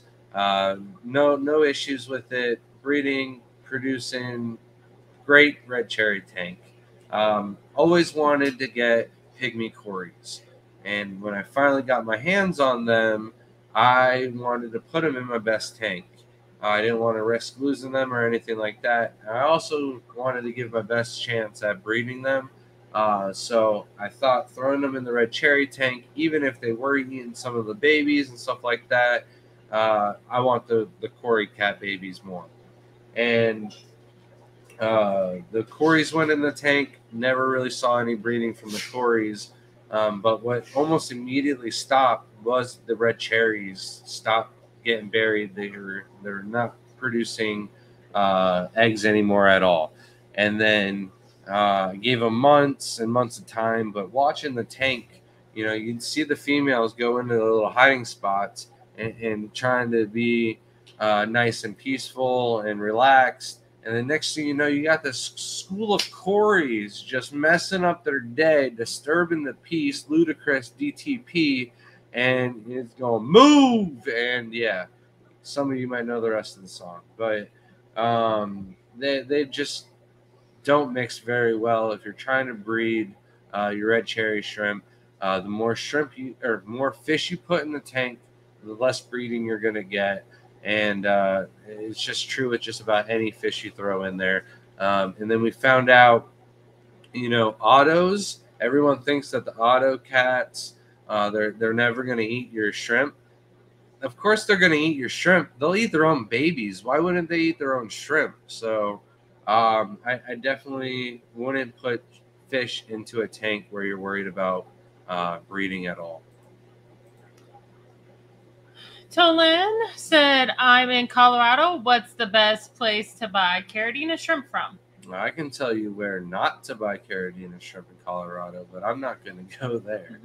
Um, you're lucky enough she doesn't do shrimp anymore. Um, so you don't have to worry about it. But, um, sorry.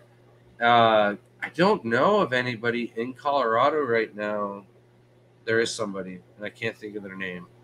I feel horrible. Oh, um, talking about. Nope, forgot. I'm bad for things. Don't man. ask me. I I could come back with that one. Uh, you can email me and maybe I'll remember that uh, and be able to give them the proper shout out. Oh man, I think it's Willie or something. All right. Um, but you know, there's plenty of people that ship. Um, you might want to check out uh, one of the clubs uh, a while back, we did get a lot of people in Colorado into Caridina at the Colorado Aquarium Society. Uh, we brought a lot of colonies of Caridina that surprisingly sold quite well. So, uh, also the pet stores up there, um, man, there's there's one of the pet stores like the Fish Gallery or something like that that has Caridina on the on the counters. It's not Fish Gallery. Yeah, it's not Fish Gallery. It was it was one of the nicer uh, pet stores though. Can't remember the name. Thank you now. so much for that 999 super chat. Um, but we do ship, and we have a very low DOA rate to Colorado. I just can't remember his name. I don't want to recommend myself, so email me and I'll, I'll get back to you on that. I'll look it up in messages. I'll find it.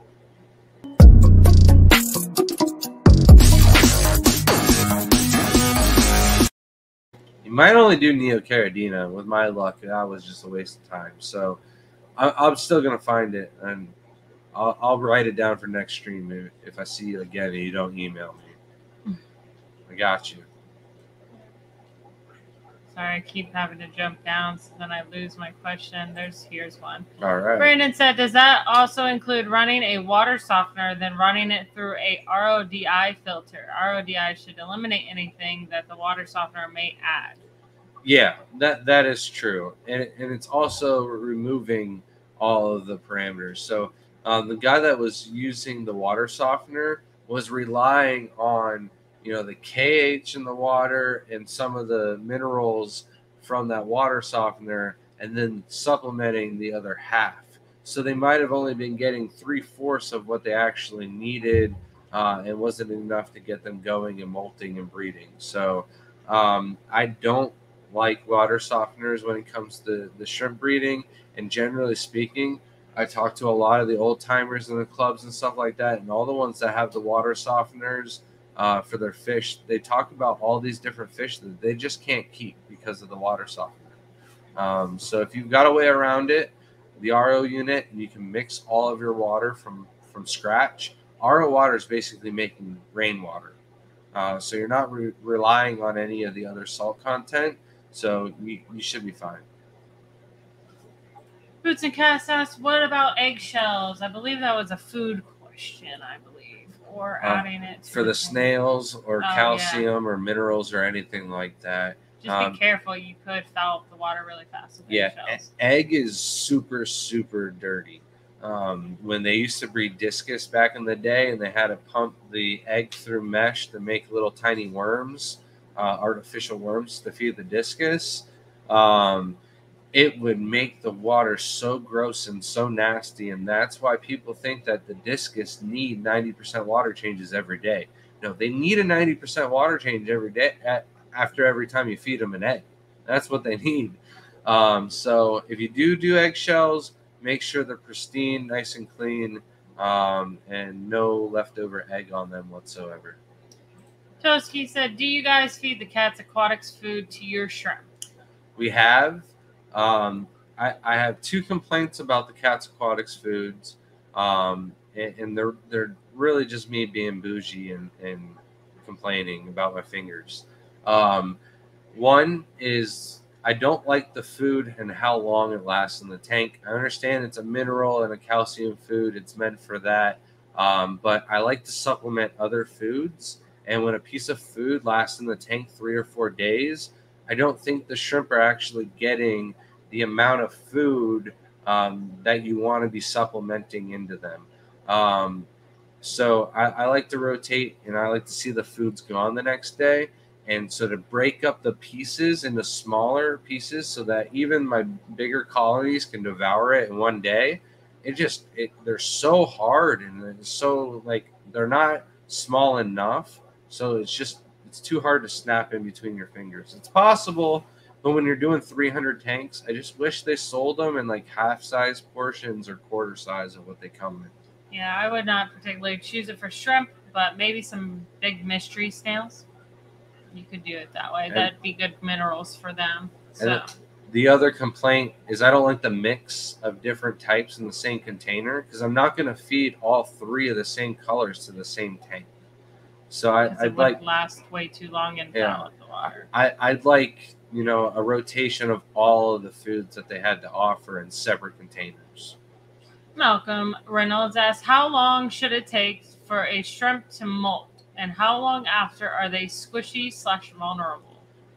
So as soon as a shrimp molts, it is going to be squishy. Um, shrimp that are fresh newborn, they're they're molting within a week. Uh, juveniles can molt every every week, every two weeks, every three weeks, up until about two centimeters, and then they're going to be molting uh, every 30 days on average. Uh, older adults are going to take a lot longer, but shrimp, just like reptiles, they never actually stop growing. So the molt is actually their body getting too big for their skin, and they have to lose it, or else they're going to be tucked like a fat man in a small jacket, and then they'll rip through their flesh and then die. So they have to have something that they can just let go of and change into a new jacket. Um, and yeah, so they're um, super squishy for about you know the first week after they molt. John Morgan asked, any updates on the reef tank? No, we've got to get everything set up in the garage. Um, before the garage is set up, I've got to set up the um, the son's room. So hopefully, get moving on that next month. Definitely want to have it done before Sam Scales gets here in May. Sibley said, My Shadow Panda tank originally had eight shadows. I neglected it and now have five shadows, but 10 blue bolts and two Mizuras. Long term, should I remove everything except the shadows in that tank? Um, so here's the beauty about Taiwan bees is you can keep all of them in the same tank and they're just going to make a really fun and colorful easy Skittles tank. You're not going to have all of the colors, but blue, red, white, black, you know, you're, you're going to have those four colors. You can get a little purple as they mature if you're lucky, but uh, you, you really, it's up to you. If you want to tank of just Shadow Pandas, do that. Um, but the Blue Bolts and the Mosuras are almost always going to be an off product of your Shadow Pandas. You can get them to breed true, but it's just not as easy getting the blue bolts to breed really true is going to be easier, but those blue bolts are still going to throw a Mosura every now and then. You want to breed the Mosuras, you're going to get a mixture of shadow pandas and blue bolts. So uh, it's really what what you feel like you want and uh, what colors you want to look at more. Abstract Aquarius said, "What do you use to dissolve the salts? I use paint mixer and drill mix to mix it up well." Uh, we have a pump. It's like a thousand two hundred gallon per hour pump, just a really cheap one that uh, we got off of Amazon or eBay. Um, and it, it, I don't worry about the head height or anything like that. I just drop it in the container and I leave it running overnight. Joel Jennings asks, "What do you know about the ocean blue caridina that I see popping up for import everywhere?" What do you want to know? I can tell you everything. I can tell you who their mother is, where they come from, what what kind of car they drive, you name it. I can I can tell you the ins and outs. So when you cross a blue bolt with a tangerine tiger, a serrata, shrimp, aurora, cheetah, doesn't really matter. They're gonna produce a an incredible amount of the hybrids in the hobby that we know today. Red steel, blue steel, galaxy pintos, nanashi, uh, advanced Nancy, uh, the boas, the the pythons, the metallics, the purples, the backlines, uh, tang tai. There's an incredible amount of shrimp that come out of that cross. One of them is blue steels. Blue steels, though, have several different phenotypes that come out. And the perfect blue steel in some people's eyes is the blue head with a nice white snowflake dots and crystal pattern on the head and then pure white belly. Like the whiter the white on the back, the, the higher the grade, uh, in some people's opinion, for, for blue steels. Um, then the other people will go, oh, it doesn't matter if it's full blue or whatever. But there is another shrimp that comes out of the blue steels where the pattern is almost splotchy. Like you'll get one color blue and then another color blue and white or no white or there can be green on the head and different color blues, but those are crazy blues. They're just not perfect or what anybody actually considers of what you think of as a blue steel. And so these crazy blues, they're crazy, right? They don't know what they're doing. They don't know where they're going. They don't know what color they want to be. But sometimes some of that blue is just like the color that your name is highlighted over here. And uh, that is what makes it an ocean blue. It's just a crazy blue that through that color blue pattern. It's not that rare. It's not some crazy mutation, and it's certainly not a pure blue bolt. So, um, yeah, they're. You should do a water change. Always do a water. If you're asking, you should do a water change. If it well, he's almost at the 30 days. I would wait till that 30 days and do that water change. I think he's like two days off or something for the 30 day cycling. So just wait a couple days. Yeah. Should have done it two weeks ago. Lately, I've been having difficulties with my tap water somehow. Changed KH levels after years. Used to be GH of 5 and KH of 3. Now, some somehow I have GH of 8 and a KH of 10. I can see some shrimps struggling with molts. Any recommendations? Um, so I don't know if you have a water softener at all, but anytime that I see the KH higher than the GH, generally speaking, uh, there's a water softener involved. And I just found out that they could be doing that at your water treatment facility. Um, so that might be something you want to check on. But anytime 10 kh um, or your kh is higher than your GH, I see incredible uh, resemblance with other people where they have issues in breeding and keeping shrimp, and it's it's almost always it has a water softener uh, on the property. There's been one case where the water company was softening the water. Um, I can't re- I can't remember what product they were using, but um, if you can remineralize RO water or uh, use um, you know the Zephyrhills water or something like that for your shrimp until they they might be just treating it for calcium deposit or something like that, and after a while it'll go back to normal.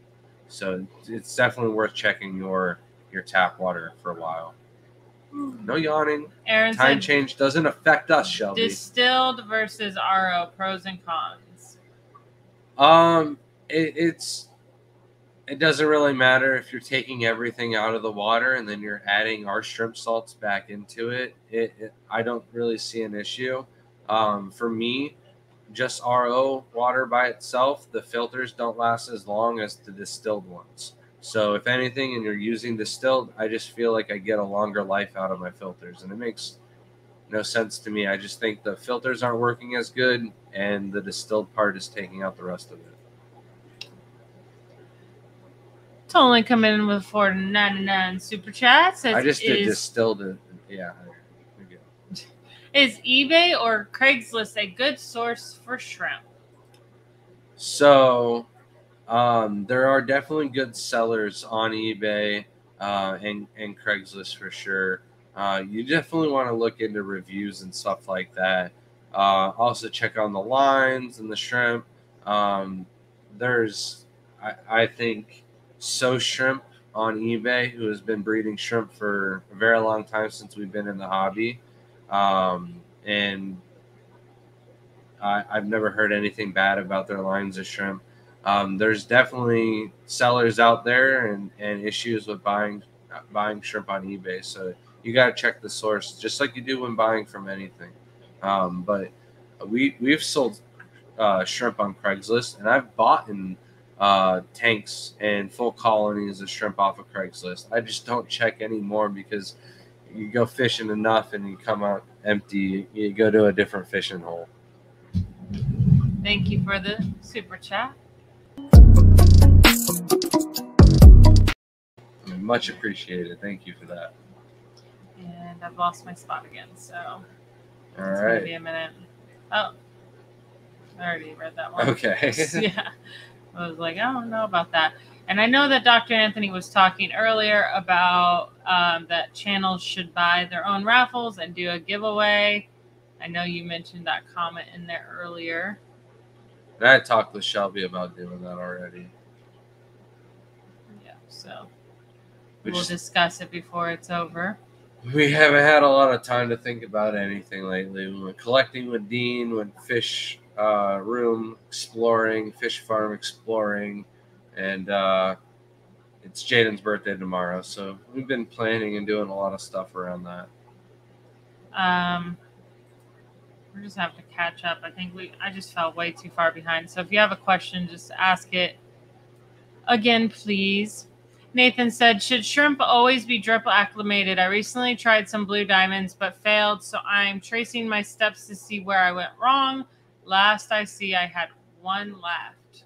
So if you're just popping and dropping and you added tank water from the bag into the tank or anything like that, you definitely cause some issues.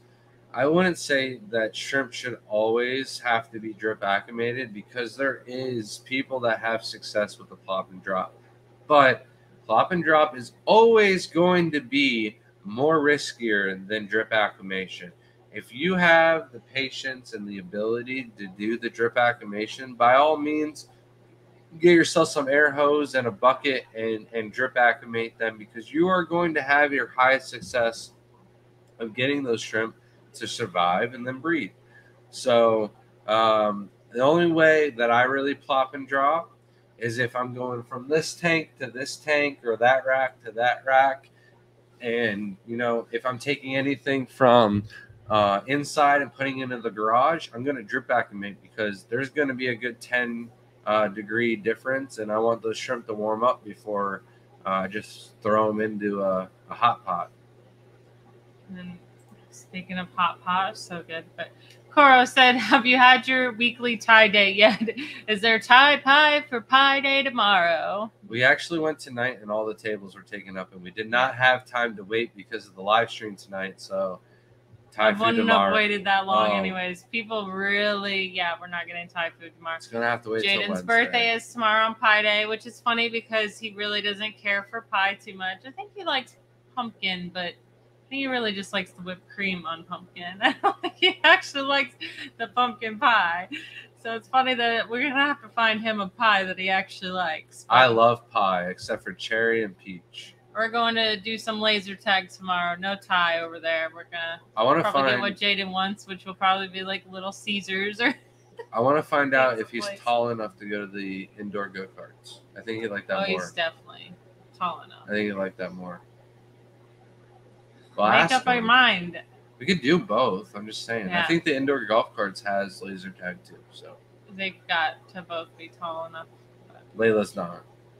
Layla can ride with me though, so she wins every race. You can ask my friends. I always win. Savage. I did, I did T-bone my friend's dad one time when we were playing. We were doing it. It was not good. He never looked at me the same. It was a, it was an accident. he hit a wall, and I was going too fast, so it wasn't my fault. It does but like he never looked pie. at me the same. Oh, pizza pie. Yeah, he does. You're right, pizza pie. He's not broken. He, he likes pizza. If you don't Have like a good pizza, night, you're, Rob. You're broken said thanks for the stream. Thank you for watching. It's much appreciated tonight. Some of the people we were trying to answer probably already left. We had quite a few people on tonight. Oh, here we go. Brandon says, if shrimp stays still, what would you suspect what's going wrong? I've heard of them bouncing around the tank being a sign of something, but not about staying still if all of the shrimp are in the tank and staying still and not really acting to food, then I'd be suspect of there being a toxin in the tank, and I definitely want to try to add some aquachar in there. Um, but if they're just staying still and chilling and hanging out, um, you know, maybe they're full and happy and not really much going on. And when you turn the lights off, they turn into active, busy bodies and go around and scrum around for food and stuff like that. But if your, you know, colony is a decent size and you throw food in there after you've starved them for two or three days, you know, don't just be putting food in on top of food and then oh they're not eating. Um, if you haven't fed for a couple days and you feed a good food that they always come out for and eat, and they're not moving, then yeah, I'd say there's some type of toxin in the water or it's too cold. A lot of times when the shrimp are too cold outside in the totes, I won't feed at all because I know they just won't go to the food. They'd rather stay where they know they're protected and not anything wrong uh, rather than risk going out on top of that food pile. There are some brave soldiers, though, that just man out and grab the food all for themselves. So we throw it in there.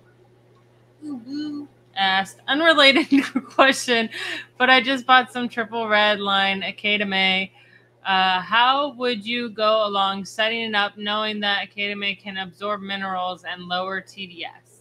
So I, I would just go for it and not worry about it. Set the tank up for 30 days. And that's why oh, I, I fail to mention this, I think, in most of my videos, but I really like to do the water 50% water change two weeks in through the cycle not just to make sure the water is pristine, add a little bit of extra beneficial bacteria and stuff like that, but a lot of it is just to balance out those minerals. Not all substrates or uh, or Akadama, I, have heard it called both. I don't know which one's right. Um, but I've heard it not just absorbing minerals, but also leaching a little bit of minerals too. So I don't know if the leaching the minerals is just that people weren't mixing them up thoroughly enough, and then the next day the minerals were fully dissolved in the water, or what has it. Um, but I generally don't worry about it. I run it for two weeks, do my 50% water change, run it for another two weeks, do my 50% water change, and then Shelby test the tank for the parameters. And if she tells me it's good, uh, I throw them suckers in there. But uh, I don't worry about it absorbing uh, the minerals because it's not going to happen for very long. I'm not going to come up and do your water testing though. Sorry. oh man. Abstract Aquarius said I shined a flashlight and my shrimp fainted. Is there a, is that common or do I got fainting goat type shrimps? I think you hilarious. just spooked it, and it was just like, "Whoa, dude!" imagine if you gave And it it was like attack? playing playing dead or possum, or, or like trying to figure out if it should move or not. I don't think it's like a, a reflex all shrimp have, but I also think like not all deer are going to stand in front of a, a car and look at it, you know, deer in the headlights situation. So maybe that's just what happened to that individual shrimp.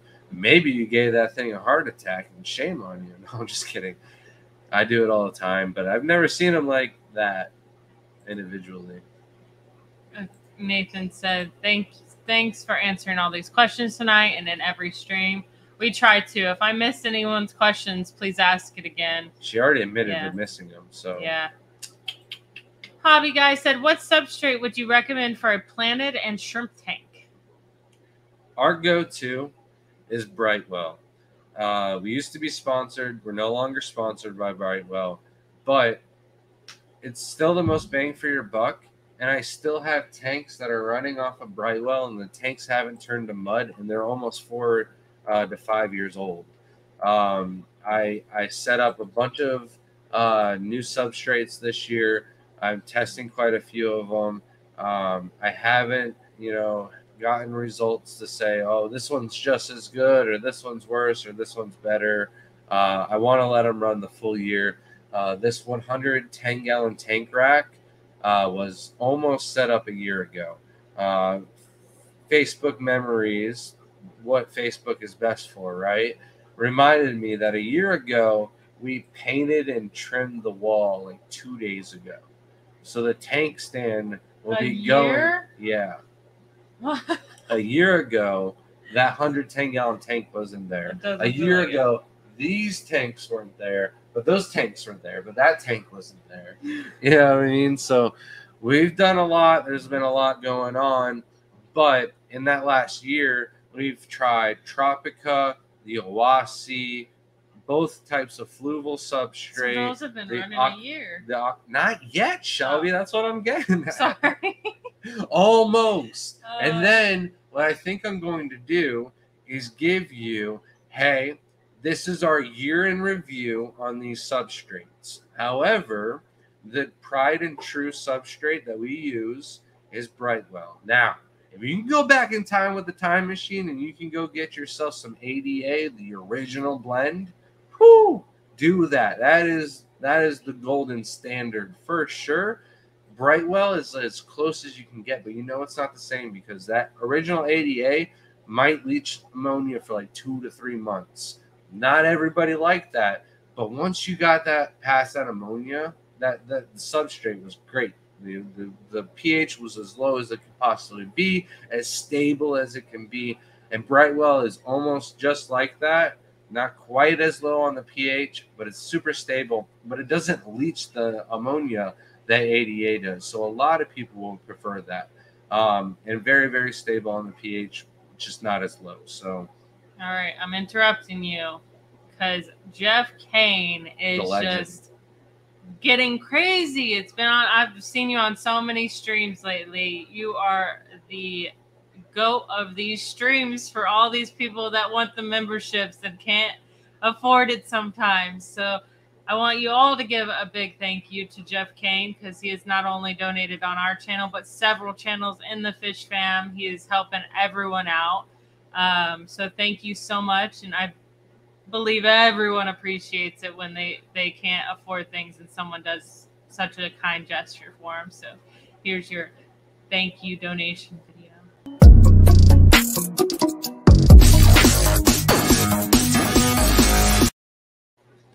Yeah, you're, you're the man. Even before I saw, uh, Lucas brought you up and then chat, I saw your name on his chat, and I was almost like, my man, Jeff Kane. But I, I didn't, I didn't, I don't know like how, how much uh, wiggle room I've got on Lucas's stream before I like. No. You spoke when the speaking to. Okay. I let Dean be the whole uh, spotlight there for that one, And just then- like Chris was for the other one. I get to go to Lucas's house quite a bit. I try to make Shelby not talk as much as possible. Say something Feels again. like Come it. on, I could do it. Stop. You doing it to me the other night. How does it feel? Wait, she's got to talk this week. I can't wait. I'm gonna sit there with my notepad and I'm just gonna count every time she says um. Oh, we'll because talk about that in a minute. That's what she did to me. Thank you so much, Jeff. Everyone who got gifted a membership does get our sticker. So please email us at thegardenofeder at gmail.com. Make sure to include your real name, your YouTube name, and your address, and I will send those out. And here is your welcome video because you are a Caridina member now.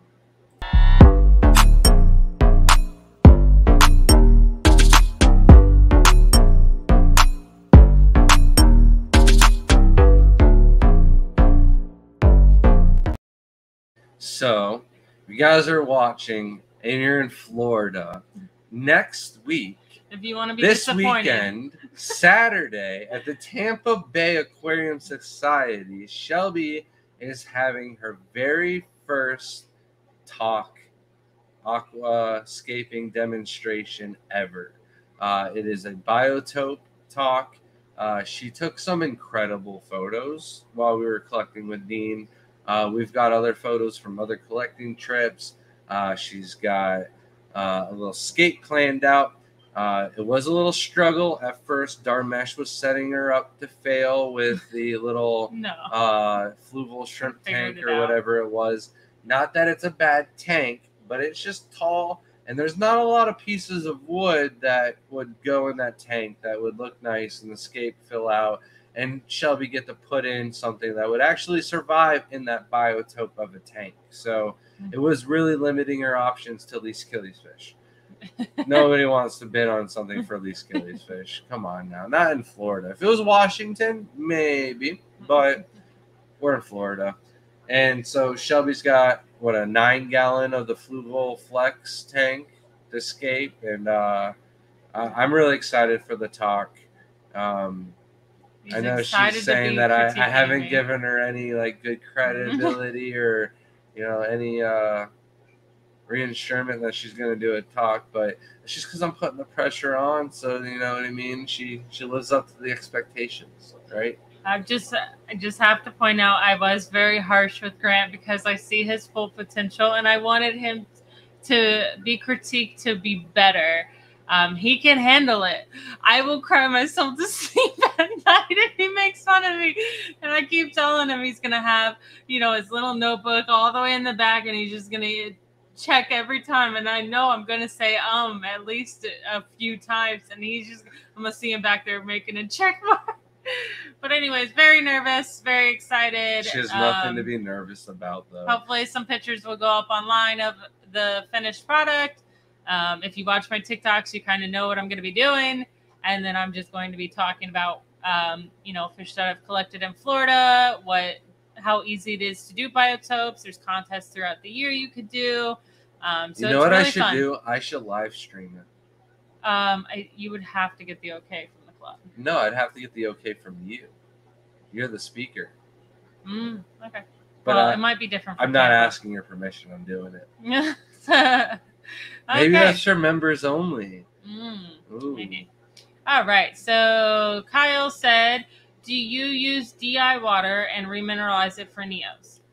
Um, no, we just use the tap water and then take out the prime. We're really lucky. We have really good quality tap water. Um, not everybody is so lucky. An hour south of us comes out at 700 total dissolved solids. If my tap water was that high, I'd probably cut it with RO water or DI water, DI water, just because not that many people in America have over 300 total dissolved solids. Some of them are like at 60, some of them are at 300. A lot of the majority of our customers are in the between. So 180 is like right in that middle sweet spot. So I like to keep that. So people don't really have to mess with the water parameters. They can just drip acclimate and then Neos are good to go. All right. Chance Larson, $2 super chat. Have you used any Denali substrates? I can't ever say it right. It's like Deniro. Dennerle. Yeah, whatever. Any good? So we have we have some tanks that are running with the Dennerle substrate. Actually, our main Tangerine Tiger tank, which has been moved to the garage now, is uh, the Dennerle substrate. It's been going for a Um, long time. The only my only complaint about the Dennerle substrates are they're not uniform, and then we use them for the shrimp contest. And every time we pour that, they're a little bit dirty. Like there's little sticks and twigs that we have to pull out of that that I don't really see in any other substrates. And for whatever reason, it's not really popular among European breeders. But I have no issue with it. It, it buffers the substrate, lasts pretty decent. It can turn to mud a little bit quicker than you know the the Brightwell and other sub some other substrates might. But um, you know if, if it's the one your store carries and you don't have to pay for shipping and it's there, it's not a bad it's not a bad option. Yeah. I, I like their foods a lot more than I like their substrate. I would use it more towards tigers than I would like you know specialty um, pintos or higher end shrimp. You want to make sure that's solid, solid substrate, like no complaints. Yeah, there there is a little bit of a temper, not a temperature, a pH swing uh, when leaving the lights on too long in the during the day with it as well. Just like the SL Aqua will do that. Uh, that's what it's uh, kind of got a bad rep for. But thank you for the two dollars super chat. And then we got another one from Vibes, dollar ninety nine super chat. It says, Shelby, you're gonna live stream your talk at Tampa. If we get the okay from the club members, I will let Grant do the live stream for my talk, which would be Saturday around twelve. It's one p.m. or twelve p.m. Ah, 12 p.m. 12 p.m. Yeah, so to be an early talk, and I gotta make sure the Wi-Fi in that place is good enough because I don't want to butcher Shelby's whole thing when it's all choppy. So. Yeah. Um, do great minds think alike, or did you hear me say it and then you, you know had I to think it was at it the same there? time that Woo! you were I saying. great it. minds think alike vibes. We're, we're, we're on the same same vibe train. Thanks for the donation. All right. And then what was the next question? Sorry. I know. Oh, you're right good. here. We got we got three minutes here, Shelby, and then I Oh. think we've got to kill it because I it is a little rough tonight with the time difference. I'm feeling a little jet lag, kind of, you know. This says maybe it'll help with raffle ticket giveaway. For sure. For sure. We were trying to kind of do that surprise, so I shouldn't have brought it up, but that's my bad.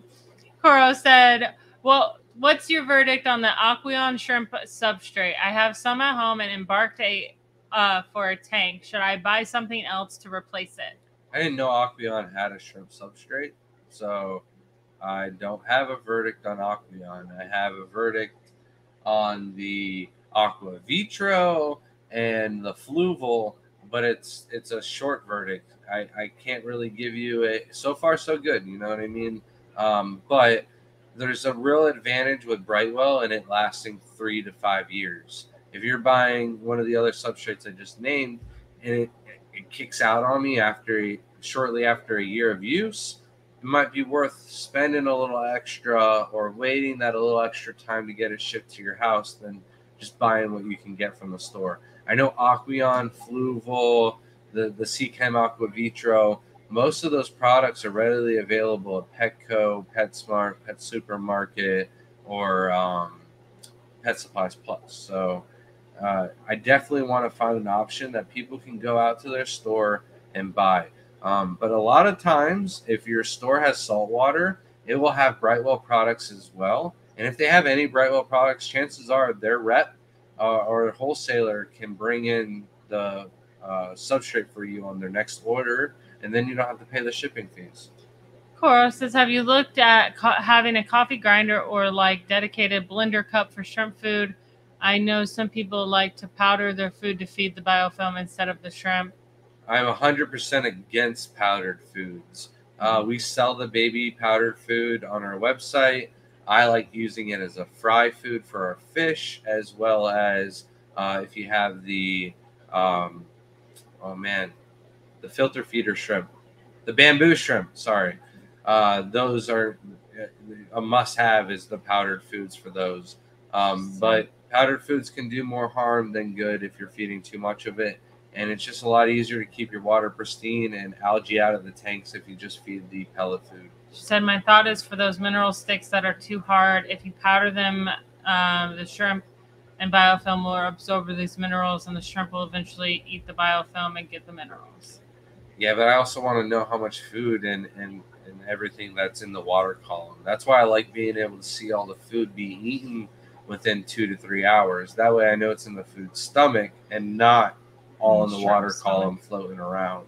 Because it's not just biofilm and whatnot that's going to eat it at that point when it's in the water column. Other things are eating it. Have you guys tried Seachem Onyx until now? Any chance? We have not tried the Onyx sand. I don't believe we have a tank of Onyx sand.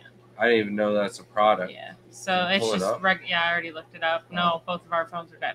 Um, Oh. but it's just like an onyx sand. Um, I don't think it has buffering capabilities. It says wash and bag. So Oh, if it had buffering capabilities, it would not be recommending washing it at all. yeah. Um, that's a good way to tell whether you're sand or anything that you're buying. If it says to rinse it, usually it doesn't have any buffering capabilities. Why didn't we go to wanna rinse it. Seachem for a shrimp sponsor for the contest? Totally spaced on that Right. one. When you do your 20% RO water change, do you add anything to it? So I don't do a 20% RO water change. I do a 20% water change using RO waters that had been mixed the night before with minerals. So anything that goes into the tank is exactly the same water, just cleaner. It's fresh, brand new water. Um, there might be some mineral loss that that is in the tank water that you're replenishing. it's not going to show up on a GH or KH test kit. So. Brenton said, Do you have a complete list of the shrimp varieties? Uh no, I was just talking with Lucas and Dean about that. Uh, I think the last time I made a list were like 130 varieties. I've definitely added quite a few different types um, since then. So uh, we're over 140, and it's time to update the list. I just got to find time where I can crack open the computer and uh, add it all in. I usually Oh. save that for a rainy day. I think Lee's It's already been a gone. drought. Happy birthday, Lee, if you do rewatch this. Um, sorry we missed it. It was yesterday. He was born at midnight between 13 and 14. So Oh. happy birthday. The time changes, so your your, not he your he birthday says he does celebrate them both days, so it All makes right. sense. do you like ACCR from Fritz? I don't know what that is. I haven't tried it. Probably not. There's a lot of things we have not tried. We don't try to add anything. If um, it's not different. broken, why fix it? So I don't like to mess around or try new things. Uh, we've experimented in the past, and it kind of hurts or reduces breeding. Uh, and I just don't have any free empty tanks that I can be messing around with that right now because Shelby's got fish in all of them. Cora said, if the Wi-Fi is bad, just record it, Grant. Hmm. Can you recommend a good budget RO system? Um, on eBay, there's five stage RO systems. You don't really need to worry about what which one you buy. Um, all of them are going to be just about decent if you get five stages or more. Um, there used to be one for around 50 bucks. Uh, if you test your RO water with a TDS pen and your total dissolved solids are less than 90, you can get away with an RO Buddie. It's a three stage unit and it's a lot cheaper. It's I think it is the $50 option. I think there used to be a five stage that was around 50 bucks. I don't know if it's still available or not, but generally speaking, any five stage uh, filter is going to get the job done. Uh, just the filters that come with it are probably going to be really cheap. And all you got to do is just replace those with good filters and not cheap ones. And you've got just as good as an RO unit as anybody else. Uh, the BRS is like the best RO unit on the market uh, to most people, but a lot of that is just because the customization options. You can get a booster pump, you can get the TDS gauge, you can get a lot of different things added on to uh, your specific custom RO units. And they just make it easy more than anything. WB says pollen substrate question mark. I don't know about that. Probably one. foul up, foul up. I think that would foul up the water quite quickly. Scuba said, "What are the best places to eat at Morgantown? We only ate at one place, and I didn't really care for it, so we're gonna move on." Like the one, like besides fast food, I don't remember eating at any Mexican good. restaurant. It was good. One Mexican restaurant. We went to a Mexican restaurant, and everybody was there except for Lefty, and I was really pissed off at Chattanooga. Morgantown. Morgantown, Pennsylvania. We did not yeah. go with any YouTubers. Yeah, that was the Keystone Clash. And, was it? Yeah, and Chattanooga Ed planned out lunch, oh. and Lefty didn't go because oh, he didn't like Mexican food. That it was a good Mexican restaurant, and I'm not mad at, at Chattanooga Ed. I'm just giving them crap. Nano Aquarium guy says, yeah. Um, he said that the Aqueon substrate, the sand, the pH went up. So we're gonna have to get some of that and test it and see what that's about. I think. I've seen the Aqueon sand, and I just know it wasn't ever gonna buffer the substrate, so I never tried it. Now that you mentioned it's a sand, mm-hmm. I do believe I've seen it in the shrimp section. It's meant for neos. Yeah. I don't think it buffers. Chiller Method said, How much of a 25 pound bag of substrate do you use in your 10 gallon setups? So, a 25 pound bag will get me four tanks where I'm happy with it. Um, I don't do any like planted, uh, uh, rooted plants or anything like that. So, that gets me about uh, a little bit over an inch over the black. Um, but, you know, it, it, just depends on how thick you like it. Some people like they're all thin, and you can get five tanks out of it, no problem. Um, but I, I, like getting four tanks per 23 pound bag. I think we caught up on all questions. All so right. we're going to head off to bed and uh, enjoy Jaden's birthday tomorrow. Awesome. So Ruben did come in. I don't know if he's still here. Uh, he did ask if we were going to ship out shrimp. Clearly not. We'll send them out Wednesday. Right?